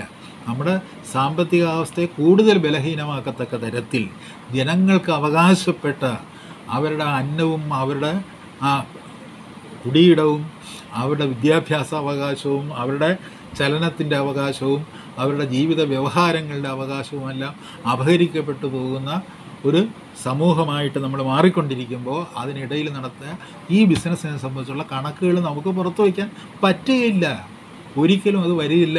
ബാലഗോപാലനില്ല. ആര് വിചാരിച്ചാലും ആ കണക്കുകൾ പുറത്തു വരാൻ പറ്റുകയില്ല. കാര്യം വെച്ച് കഴിഞ്ഞാൽ ഇത് ലോകത്തിലെ എമ്പാടും നടന്ന ധനകാര്യ മുതലാളിത്തത്തിന്റെ ആസൂത്രിതമായ ഒരു നീക്കമായിരുന്നു എന്നുള്ളത് കൊണ്ട് അതിന്റെ ഇരയായി തീരുക എന്നുള്ളത് ഇന്ത്യയുടെ ദൗത്യമാണ് എന്നുള്ളത് കൊണ്ട് ആ, ഭാരത് മഹാൻ എന്നുള്ളതിന് പകരം മേരാ നാം മഹാൻ എന്ന് പറഞ്ഞു തുടങ്ങുന്ന ഒരു ഭരണാധികാരി നമ്മുടെ ആ ഭരണരംഗത്ത് വന്നു കഴിഞ്ഞതുകൊണ്ട് അത് അത് സംസ്ഥാനത്തിൽ ആയാലും കേന്ദ്രത്തിലായാലും ഒരേ ഒരു ലക്ഷ്യം ഒരു ഭരണത്തിന്റെ ഒരേ ഒരു ലക്ഷ്യം അവിടെ ഇരിക്കുന്ന ആ ഒരു ഭരണാധികാരി മേരാ നാം മഹാൻ.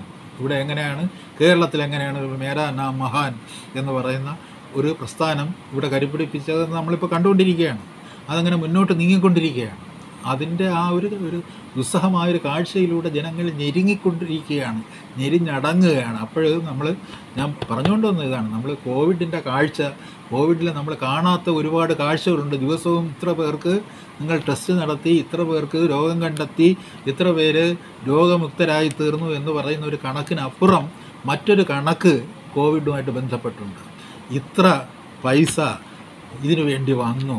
ഇത്ര പൈസ ഇതിനു വേണ്ടി ചെലവഴിച്ചു. ഇത്ര പൈസ ഇവരുമായി കോൺട്രാക്റ്റ് ഉണ്ടാക്കി. ഇത്ര പൈസ ഈ ഇടനിലക്കാരൻ കൊണ്ടുപോയി. അങ്ങനെ നമുക്ക് ഉണ്ടായ സാമ്പത്തിക സ്രോതസ്സുകൾ എന്തൊക്കെയായിരുന്നു? ആ സാമ്പത്തിക സ്രോതസ്സുകളിൽ നിന്ന് നമ്മൾ ഉണ്ടാക്കിയ പിടിച്ചെടുത്ത ആ പണം ആരുടെ ഭാഗത്താണ് വന്നു ചേർന്നത് എന്നുള്ള ഒരു തിരിച്ചറിവാണ് കോവിഡിനെ കുറിച്ചുള്ള തിരിച്ചറിവ് എന്നുകൂടി നമ്മൾ മനസ്സിലാക്കണം. ഇപ്പോഴും ഇങ്ങനെ പതുക്കെ പതുക്കെ ഈ ഓരോ അംശങ്ങളായിട്ട് വന്നിട്ട് കാര്യമില്ല. ഇപ്പോൾ മാസ്ക് ഇൻഡസ്ട്രി എന്ന് പറയുന്നത് ഒരുപാട് ഒരു പ്രൈവറ്റായിട്ട് എല്ലാവരും എല്ലാ കടകളിലും ഇപ്പോൾ മാസ്ക് ഉണ്ടാക്കി വിൽക്കുന്നുണ്ട് അത് ഒരു ഉപജീവന മാർഗമായിട്ട് മാറിയിട്ടുണ്ട്. അതില്ല എന്ന് പറയില്ല. കോവിഡ് അങ്ങ് പോയി കഴിഞ്ഞാൽ പിന്നെ ഈ മാസ്ക് കൊണ്ട് വലിയ പ്രയോജനമൊന്നും ഇല്ലാതെ വരും. ഇല്ലാതെ വരുമ്പോഴത്തേക്ക് ആ മാസ്ക് വ്യവസായം നിലച്ചു പോകും. പക്ഷേ ഒരു ലാർജ് സ്കെയിൽ മാസ്ക് ഇൻഡസ്ട്രി ഉണ്ട്. ഗവൺമെന്റ് വളരെ ഉത്തമമെന്ന് എഴുതുന്ന എൻ നയന്റി ഫൈവ് മാസ്ക് വാങ്ങിയതിന്റെ കണക്കുണ്ട്. ആ കണക്ക് വരുമ്പോൾ നമ്മൾ ഞെട്ടിപ്പോകുന്ന ഒരു കണക്കാണ് നമ്മുടെ മുന്നിലുള്ളത്. ആ കണക്ക് നമ്മൾ ജനങ്ങളുടെ മുന്നിൽ അവതരിപ്പിക്കുകയാണെന്നുണ്ടെങ്കിൽ ഇതെങ്ങനെയാണ് വിനിയോഗിച്ചത്? ഇത് ആർക്കെല്ലാം കൊടുത്തു? ഏതെല്ലാം റൂട്ടിലൂടെയാണ് അത് പോയത് എന്ന് വരുമ്പോഴത്തേക്ക് ഗ്ലൗസ് ഗ്ലൗസ് വാങ്ങിയതിന്റെ കണക്ക്. അപ്പോൾ നമ്മൾ പറയും ഗ്ലൗസ് എന്ന് പറഞ്ഞാൽ വളരെ നിസ്സാരമായിട്ടുള്ളൊരു സംഭവമാണ്. നമ്മുടെ എല്ലാ ആശുപത്രികളിലും നമ്മൾ സർവസാധാരണമായിട്ട് ഉപയോഗിച്ചുകൊണ്ടിരിക്കുന്ന ഗ്ലൗസാണ്. ആ ഗ്ലൗസ് വാങ്ങിയതും മാസ്ക് വാങ്ങിയതും ആ പിന്നെ സാനിറ്റൈസർ ഉണ്ട്.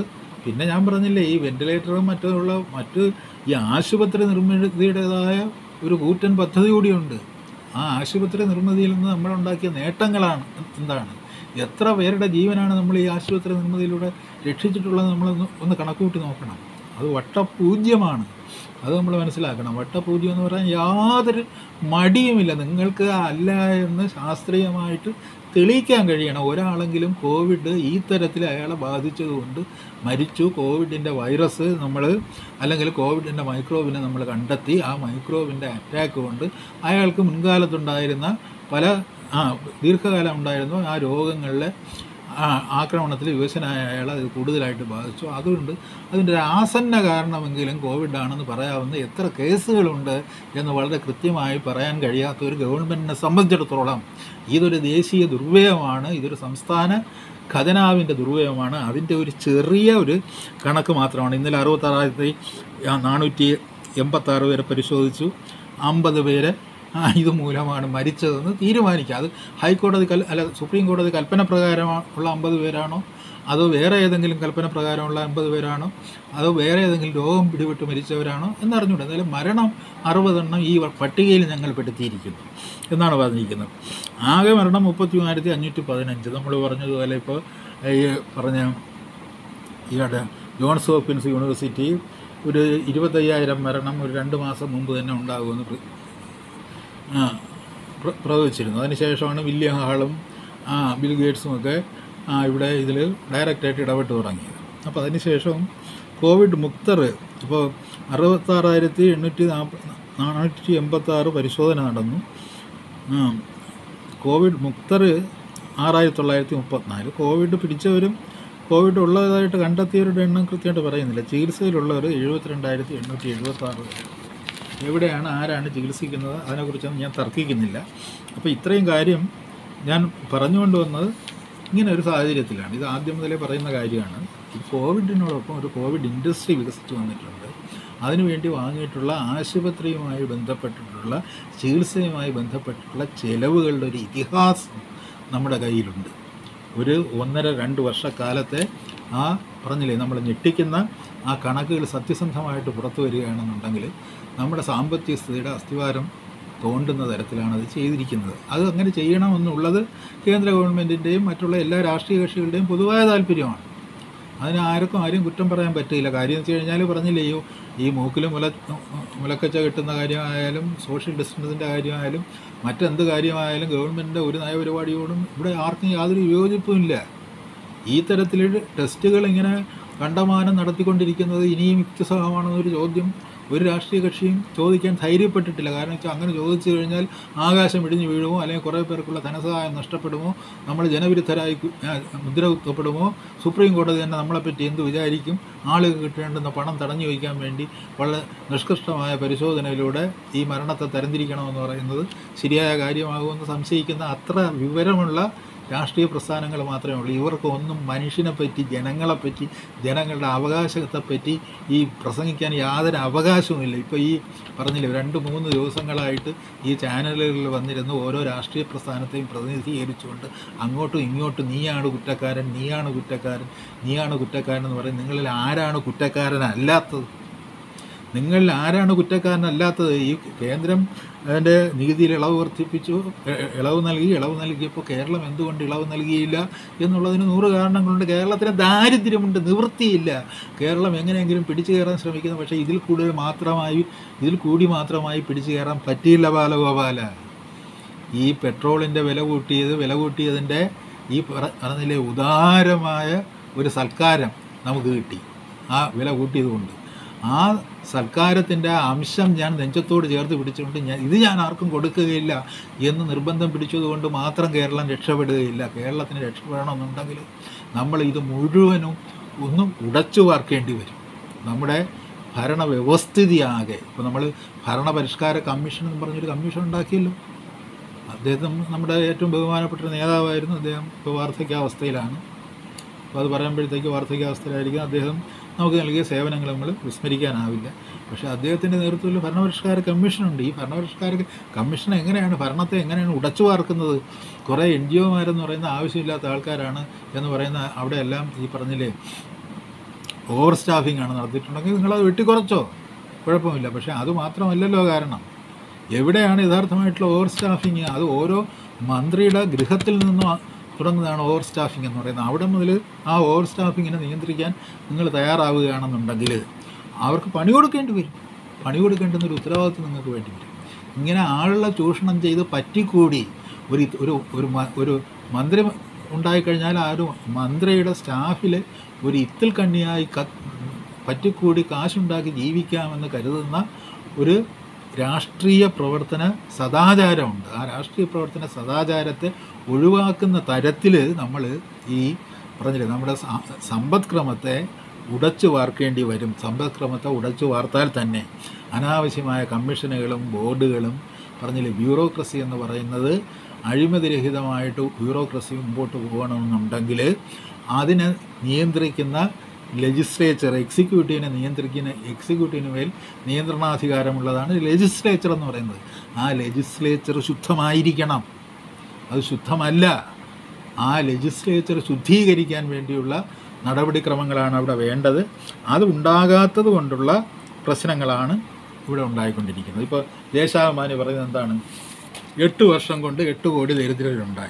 അത് ഇന്ത്യയിൽ മാത്രം കേരളത്തിൽ ഈ ഒരു ദരിദ്രനും ആ- കൂട്ടത്തിൽപ്പെട്ടതില്ല ഇന്ത്യയിൽ രാജ്യത്ത് കോവിഡിന് മുമ്പേ ദാരിദ്ര്യം പെരുകിയെന്ന് റിപ്പോർട്ട് ഇത് പണ്ട് മുതലേ പറയുന്നതാണ്. ഇപ്പോൾ രണ്ടായിരത്തി പത്തൊമ്പതിൽ ഈ പറഞ്ഞില്ലേ ആത്മഹത്യാ നിരക്ക് എടുക്കുമ്പോഴത്തേക്ക് അത് മുപ്പത്തിനാലിൽ നിന്ന് മുപ്പത്തൊമ്പത് എന്നുള്ള തരത്തിൽ ലക്ഷം ആയിട്ടത് പെരുകിയിട്ടുണ്ട് ആത്മഹത്യ. രണ്ടായിരത്തി പത്തൊമ്പതിൽ കോവിഡ് വരുന്നതിന് മുമ്പ്. അതിന് മുമ്പ് തന്നെ ഈ രാജ്യത്തൊരു സാമ്പത്തിക മാന്ദ്യം ഉണ്ട്. അതിപ്പോൾ ദേശാഭിമാനി ഇപ്പോൾ കണ്ണുറന്ന് കാണേണ്ടുന്ന കാര്യമല്ല. ഈ സാമ്പത്തിക മാന്ദ്യം എന്ന് പറയുന്നത് കേരളത്തെ എങ്ങനെയാണ് ബാധിച്ചതെന്ന് മനസ്സിലാക്കണമെന്നുണ്ടെങ്കിൽ ഈ ദേശാഭിമാനിയുടെ മറ്റു ചില ആ ഭാഗങ്ങളിലേക്ക് നോക്കിയാൽ മതി. യുവതി വീട്ടിൽ മരിച്ച നിലയിൽ. ഇത് ഈ പറഞ്ഞില്ലേ? ദാരിദ്ര്യം കൊണ്ടാണ് മരിച്ചത്. പ്രത്യക്ഷത്തിൽ ദാരിദ്ര്യം കൊണ്ടല്ല മരിച്ചത്. പക്ഷേ നമ്മുടെ ഈ സാമ്പത്തിക നിലയിലുണ്ടായൊരു മാന്യം മകൻ പിരിച്ച് മരിച്ചതിന് പിന്നാലെ അച്ഛനും പിന്നെ ആ ഭാര്യ ഭർത്താവ് വീട്ടിൽ കൊന്നു. പിന്നെ വെട്ടിക്കൊന്നു. പിന്നെ അമ്മായി അമ്മ മരുമകൾ വിഷം കൊടുത്തു കൊന്നു. ഇങ്ങനെയുള്ള ഈ പറഞ്ഞില്ല ഈ മരണത്തിന്റെ കണക്കുകൾ പണ്ടും മരണം ഇങ്ങനെ അസ്വാഭാവികമായ മരണങ്ങളും കൊലപാതകങ്ങളും ഒക്കെ പണ്ട് ഒരുപാട് നടന്നിട്ടുണ്ട്. പക്ഷേ ഈ സാമ്പത്തിക മാന്ദ്യത്തിന്റെ കാലഘട്ടത്തിൽ നമ്മുടെ ഇടയിൽ ഉണ്ടായിട്ടുള്ള അസ്വാഭാവിക മരണങ്ങളുടെ കണക്കിലെടുക്കുകയാണെങ്കിൽ അത് കോവിഡ് വരുന്നതിന് മുമ്പ് ഉണ്ടായിരുന്നു. അതിപ്പോൾ ദേശാഭിമാനി ഇപ്പോഴാണ് കണ്ണു തുറന്ന് കാണുന്നത്. നമ്മളിപ്പോൾ ഈ പങ്ക്തിയിൽ തന്നെ ഈ സാമ്പത്തിക മാന്ദ്യത്തിന്റെ അവസ്ഥയിൽ വന്ന മറ്റൊരു ദുരിതമാണ്. അതിന്റെ ആക്കം കൂട്ടുന്നതിന് വേണ്ടി അതായത് നമ്മളെപ്പോലെയുള്ള രാജ്യങ്ങളെ ഈ പറയുന്നത് പണ്ടത്തെ മൂന്നാം ചേരി രാജ്യങ്ങളെന്ന് പറയുന്ന ഈ രാജ്യങ്ങളെ നോട്ടമിട്ടുകൊണ്ട് ആയിരത്തി തൊള്ളായിരത്തി തൊണ്ണൂറുകളിൽ കൊണ്ടുവന്ന ഡീസെൻട്രലൈസേഷന്റെ കാലഘട്ടം മുതൽ ഒരു സാമ്പത്തിക മാന്ദ്യത്തിന്റെ മണിമുഴക്കം നമുക്ക് കേൾക്കാവുന്നതായിരുന്നു. അത് രണ്ടായിരത്തി പത്തൊമ്പതിൽ വരുമ്പോൾ അത് വളരെ പ്രത്യക്ഷമായിട്ട് വരെയാണ്. അതുവരെ അതിനെ കവർ ചെയ്യുന്ന ഒരുപാട് ആശ്വാസ പദ്ധതികളും ഒരുപാട് ഗംഭീരൻ വിധാനങ്ങളും വികസനത്തിന്റേതായ പല മണ്ഡലങ്ങളും ഒക്കെ കാണിച്ച് മായാമോഹങ്ങളും ഒക്കെ കാണിച്ച് നമ്മളെ ഇരുത്തിക്കളഞ്ഞു. ഇരുത്തിക്കളഞ്ഞതിന് ശേഷം രണ്ടായിരത്തി പത്തൊമ്പതിൽ കണ്ണു തുറന്ന് നോക്കുമ്പോൾ ലോകത്തിന് ആകെ ഒരു സാമ്പത്തിക മാന്യം ഉണ്ടായിരിക്കുന്നതായി നമുക്ക് കാണാൻ പറ്റും. ആ സാമ്പത്തിക മാന്യത്തിന്റെ ദുരന്തം ഇന്ത്യയെ ബാധിച്ചിരുന്നു എന്നുള്ളത് കൊണ്ടാണ് ആത്മഹത്യാ രംഗത്ത് രണ്ടായിരത്തി പത്തൊമ്പത് പതിനെട്ടിൽ നിന്ന് പത്തൊമ്പതിലെത്തുമ്പോൾ കോവിഡും ഇവിടെ എത്തുന്നതിന് മുമ്പ് ഒരു വലിയ വൻകുതിപ്പുണ്ടായിരിക്കുന്നത്. അത് അമ്പത്തി മൂന്ന് എന്നുള്ള രീതിയിൽ മുപ്പത്തൊമ്പതിൽ നിന്ന് ഒരു പതിനാലക്കത്തിലേക്ക് വീണ്ടും വർധന ഉണ്ടാകുന്നത് കോവിഡ് വരിക ലോക്ക്ഡൗൺ വരിക എന്നിവയോട് കൂടിയാണ് ഈ കാര്യങ്ങൾ ദേശാഭിമാനി മനസ്സിലാക്കുന്നുണ്ടെങ്കിൽ ദേശാഭിമാനി ഈ പ്രശ്നത്തെ ഇങ്ങനെയല്ല സമീപിക്കേണ്ടിയിരുന്നത്. അതിനിടയ്ക്ക് പറഞ്ഞില്ലേ സ്വതവേ ഇത്രയും ഇത്ര ഇത്രയും ദുഃഖഭാരങ്ങളുള്ള ഒരു സംസ്ഥാനത്തിന്റെ സാമ്പത്തിക ഭരണം എങ്ങനെ ക്രമീകരിക്കാമെന്ന് ആലോചിക്കുമ്പോഴത്തേക്ക് വളരെ ധൂർത്തമായിട്ട് നമ്മൾ സാധനങ്ങൾ വാങ്ങിക്കൂട്ടുകയും ദുർവ്യയം ചെയ്യുകയും ടെസ്റ്റ് മാസ്ക് സാനിറ്റൈസർ എന്ന് പറയുന്ന ഒരു വ്യവസായ പ്രഹേളികളുടെ ഒരു ഇരയായിട്ട് ഒരു ജനതയെ മുഴുവൻ മാറ്റിയെടുക്കുകയും ജനതയെ ചങ്ങലക്കിടുകയും ചെയ്തു എന്ന് പറയുന്ന ഒരു ദുരിതപൂർണമായ പ്രവർത്തനത്തിന്റെ സാരഥ്യം നിങ്ങളുടെ കൈകളിലായിരുന്നു എന്ന് കൂടി ഈ എട്ട് വർഷത്തിൽ എട്ട് കോടി ദരിദ്രരുണ്ടായി എന്ന് പറഞ്ഞ് പറഞ്ഞ് ഒരു ബാനർ ഹെഡിങ് അടിച്ചിട്ട് അത് അവിടെ ഭരിക്കുന്ന നരേന്ദ്രമോദിയുടെ കുറ്റം കൊണ്ടാണോ ഒന്നും പറയേണ്ട അങ്ങനെയൊന്നും അല്ല സംഭവിക്കുന്നത്. ഒരു സാമ്പത്തിക മാന്യം എന്ന് പറയുന്നത് ഇന്ത്യയെ പോലെയുള്ള ഒരു സംസ്ഥാനത്തിന് അല്ല രാജ്യത്തിന് ഒരു സാമ്പത്തിക മാന്യം ഉണ്ടാകുകയും ആ സാമ്പത്തിക മാന്യത്തിന്റെ അലകൾ കേരളം പോലെയുള്ള ഒരു സംസ്ഥാനത്ത് പ്രചരിക്കുകയും ചെയ്യുന്നതിന് പ്രധാന കാരണമെന്ന് പറയുന്നത് ലോക മുതലാളിത്തം നിയന്ത്രിക്കുന്ന ഒരു സാമ്പത്തികമായ ഒരു കാഴ്ചപ്പാടുണ്ട്. ആ സാമ്പത്തികമായ കാഴ്ചപ്പാടനുസരിച്ച് മൂന്നാം ലോക രാജ്യങ്ങൾ എവിടെ എങ്ങനെ എപ്പോൾ എന്ത് ചെയ്യണം എന്നുള്ളതിനെപ്പറ്റി വ്യക്തമായ നിർദ്ദേശങ്ങൾ അടിക്കടി കിട്ടിക്കൊണ്ടിരിക്കും. നിങ്ങളിപ്പോൾ കോവിഡിന്റെ കാലത്ത് നമ്മൾ നോക്കുക. ഓരോ നിർദ്ദേശവും എവിടെ നിന്നാണ് വന്നത്?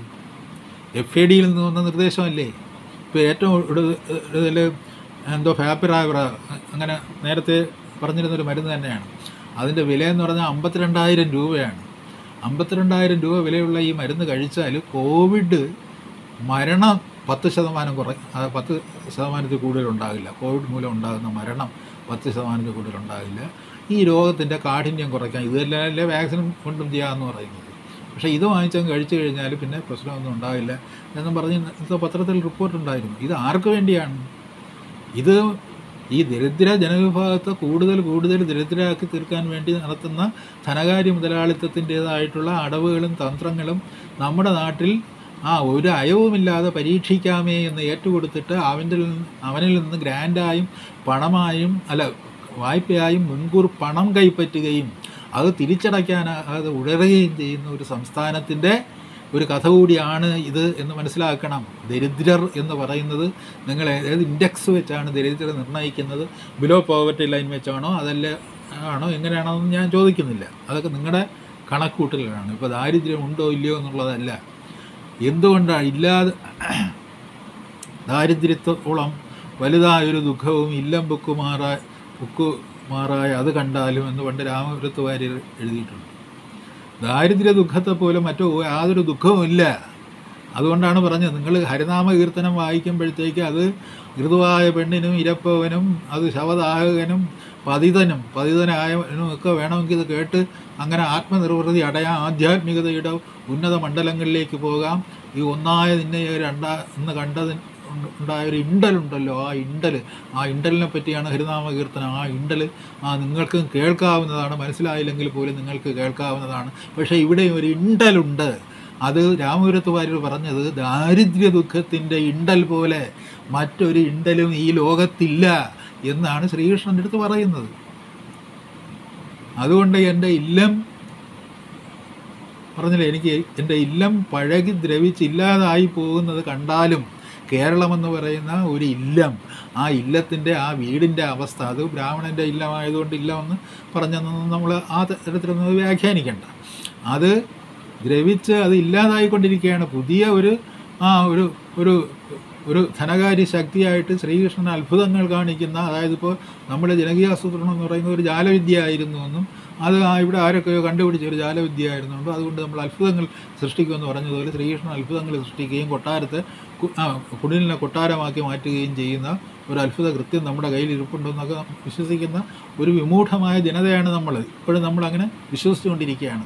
കണ്ടില്ലേ വികസനം കണ്ടില്ലേ വികസനം കണ്ടില്ലേ വികസനം? എന്ന് യോഗി ആദിത്യനാഥ് ഇന്ന് എല്ലാ മലയാള ദിനപത്രങ്ങൾക്കും പരസ്യം കൊടുത്തിട്ടുണ്ട്. ദേശാഭിമാനിക്ക് എന്തോ ആ പരസ്യം കൊടുക്കാത്തതുകൊണ്ടാണെന്ന് എനിക്ക് മനസ്സിലാകുന്നില്ല. ബാക്കിയുള്ള ഇംഗ്ലീഷ് ദിനപത്രങ്ങളിലൊക്കെ യോഗി ആദിത്യനാഥ് അവിടെ ഒരു തെരഞ്ഞെടുപ്പ് വരുന്നുണ്ട്. കാണുന്നില്ലേ? ഞാൻ എങ്ങനെയാണ് കുടിലിനെ കൊട്ടാരമാക്കി മാറ്റിക്കൊണ്ടിരിക്കുന്നത്? അവിടെ യു പിയിൽ മുഴുവനും കൊട്ടാരങ്ങൾ നിർമ്മിച്ചുകൊണ്ടിരിക്കുകയാണ്. ഇന്ത്യയിലാകെ കൊട്ടാരങ്ങൾ നിർമ്മിച്ചുകൊണ്ടിരിക്കുകയാണ്. ഇത് ആരെ ബോധ്യപ്പെടുത്തുകയാണ്? നമ്മളും കൊട്ടാരം നിർമ്മിക്കുന്നു. അതിന്റെ കഥ തന്നെയാണ് നമ്മുടെ പി ആർ ഒ നാടുകളോട് നാട്ടിലെ ആളുകളോട് പറഞ്ഞുകൊണ്ടിരിക്കുന്നത്. ഇക്കാര്യങ്ങളാണ് ഞാനിപ്പോൾ സ്പോർട്സ് ആൻഡ് ഗെയിംസിന്റെ കാര്യത്തെപ്പറ്റി പറയുമ്പോഴത്തേക്ക് പുതിയ ധനകാര്യ മുതലാളിത്തവും അതിനെ തുടർന്ന് വരുന്ന ട്രാൻസ്നാഷണൽ കോർപ്പറേഷന്റെ ആ പദ്ധതികളും എങ്ങനെയാണ് ഈ നമ്മുടെ സാമ്പത്തികാവസ്ഥയെ മൂന്നാം ലോക രാജ്യങ്ങളുടെ സാമ്പത്തികാവസ്ഥയെ പൂർണമായി നിയന്ത്രിക്കുന്നതും അതിന്റെ വരുതിക്ക് നിർത്തുന്നത് അതായത് കൃത്യമായിട്ട് വര വരച്ചിട്ടതുപോലെ കോവിഡിന്റെ കാര്യത്തിൽ നമ്മൾ പറഞ്ഞില്ലേ അതാണ് ഞാൻ പറഞ്ഞത് ആയിരത്തി തൊള്ളായിരത്തി തൊണ്ണൂറ്റി അഞ്ചിൽ സൂററ്റിലെ ഡോക്ടർമാർ പറഞ്ഞ് ഞങ്ങളും ഡോക്ടർമാരാണ്. എന്നാണ് അവർ യു എൻ ഒയോട് പറഞ്ഞത്. ഞങ്ങളും ഡോക്ടർമാരാണ്. അവർ വേൾഡ് ഹെൽത്ത് ഓർഗനൈസേഷൻ പറഞ്ഞ് ഞങ്ങളും ഡോക്ടർമാരാണ്. ഞങ്ങൾ പഠിച്ച വൈദ്യശാസ്ത്രത്തിന് എന്തെങ്കിലും തകരാറുണ്ടെങ്കിൽ നിങ്ങളൊന്ന് പറഞ്ഞു തന്നാൽ മതി. നമ്മൾ നോക്കിയിട്ട് ഇവിടെ പ്ലേഗിന്റെ മൈക്രോബിനെ കാണുന്നില്ല. നിങ്ങളൊന്നൊന്ന് കാണിച്ചു തന്നാൽ മതി എന്ന് പറയാനുള്ള നെഞ്ഞൂക്ക് അന്നത്തെ ഡോക്ടർമാർക്കുണ്ടായിരുന്നു.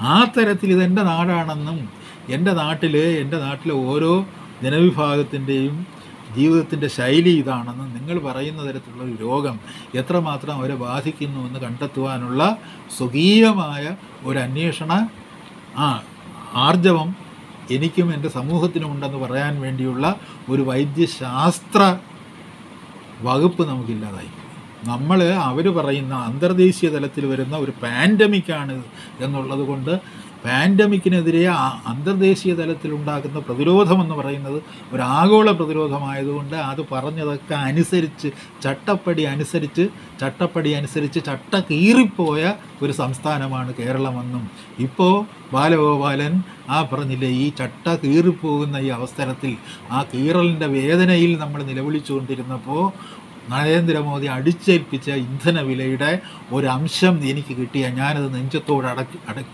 പിടിച്ചിരിക്കുകയാണ്. ഇതും കൂടി കൈമോശം വന്നു പോയാൽ ഞാൻ എന്ത് ചെയ്യും എന്ന് ജനങ്ങളോട് ചോദിക്കുകയാണ്. ആ ചോദ്യത്തിന് ഇരുഭാഗത്ത് നിന്നും തല്ലു കൊടുത്തിട്ടൊന്നും കാര്യമില്ല. അതിന് ചക്രസ്തംഭനം ഉണ്ടാക്കിയിട്ടൊന്നും കാര്യമില്ല. അതിന് നമ്മളൊരു സ്വതന്ത്ര രാജ്യമാണ്. സ്വതന്ത്ര രാജ്യം എന്നുള്ള രീതിയിൽ ആ സ്വതന്ത്ര രാജ്യത്തിന്റെ ഒരു സ്വതന്ത്ര സംസ്ഥാനം എന്നുള്ള രീതിയിൽ നമ്മൾ നമുക്ക് ഫെഡറലിസത്തിൽ നമുക്ക് ആ ചില വകുപ്പുകളെങ്കിലും കൺകറൻ ലിസ്റ്റിൽ നമുക്ക് തന്നിട്ടുണ്ട്. അതിൽ നമ്മുടെ സ്വാതന്ത്ര്യം വിനിയോഗിച്ചുകൊണ്ട് നമുക്ക് എന്ത് ചെയ്യാൻ കഴിയുമെന്ന് ആലോചിക്കുന്ന ഒരു ആർജവത്തിന്റെ ഒരു പ്രശ്നമുണ്ട്. അത് നമുക്കില്ല. നമ്മൾ കുറേ നാളുകൊണ്ട് അതായത് ഡീസെൻട്രലൈസേഷൻ തൊട്ട് വേൾഡ് ബാങ്കിന്റെ ഓരോ പദ്ധതിയും നടപ്പിലാക്കിയെടുക്കുക എന്നുള്ള ജോലിയാണ് കേരള സംസ്ഥാന ഗവൺമെന്റുകൾ മാറിയും മറിഞ്ഞും ചെയ്തുകൊണ്ടിരുന്നത്.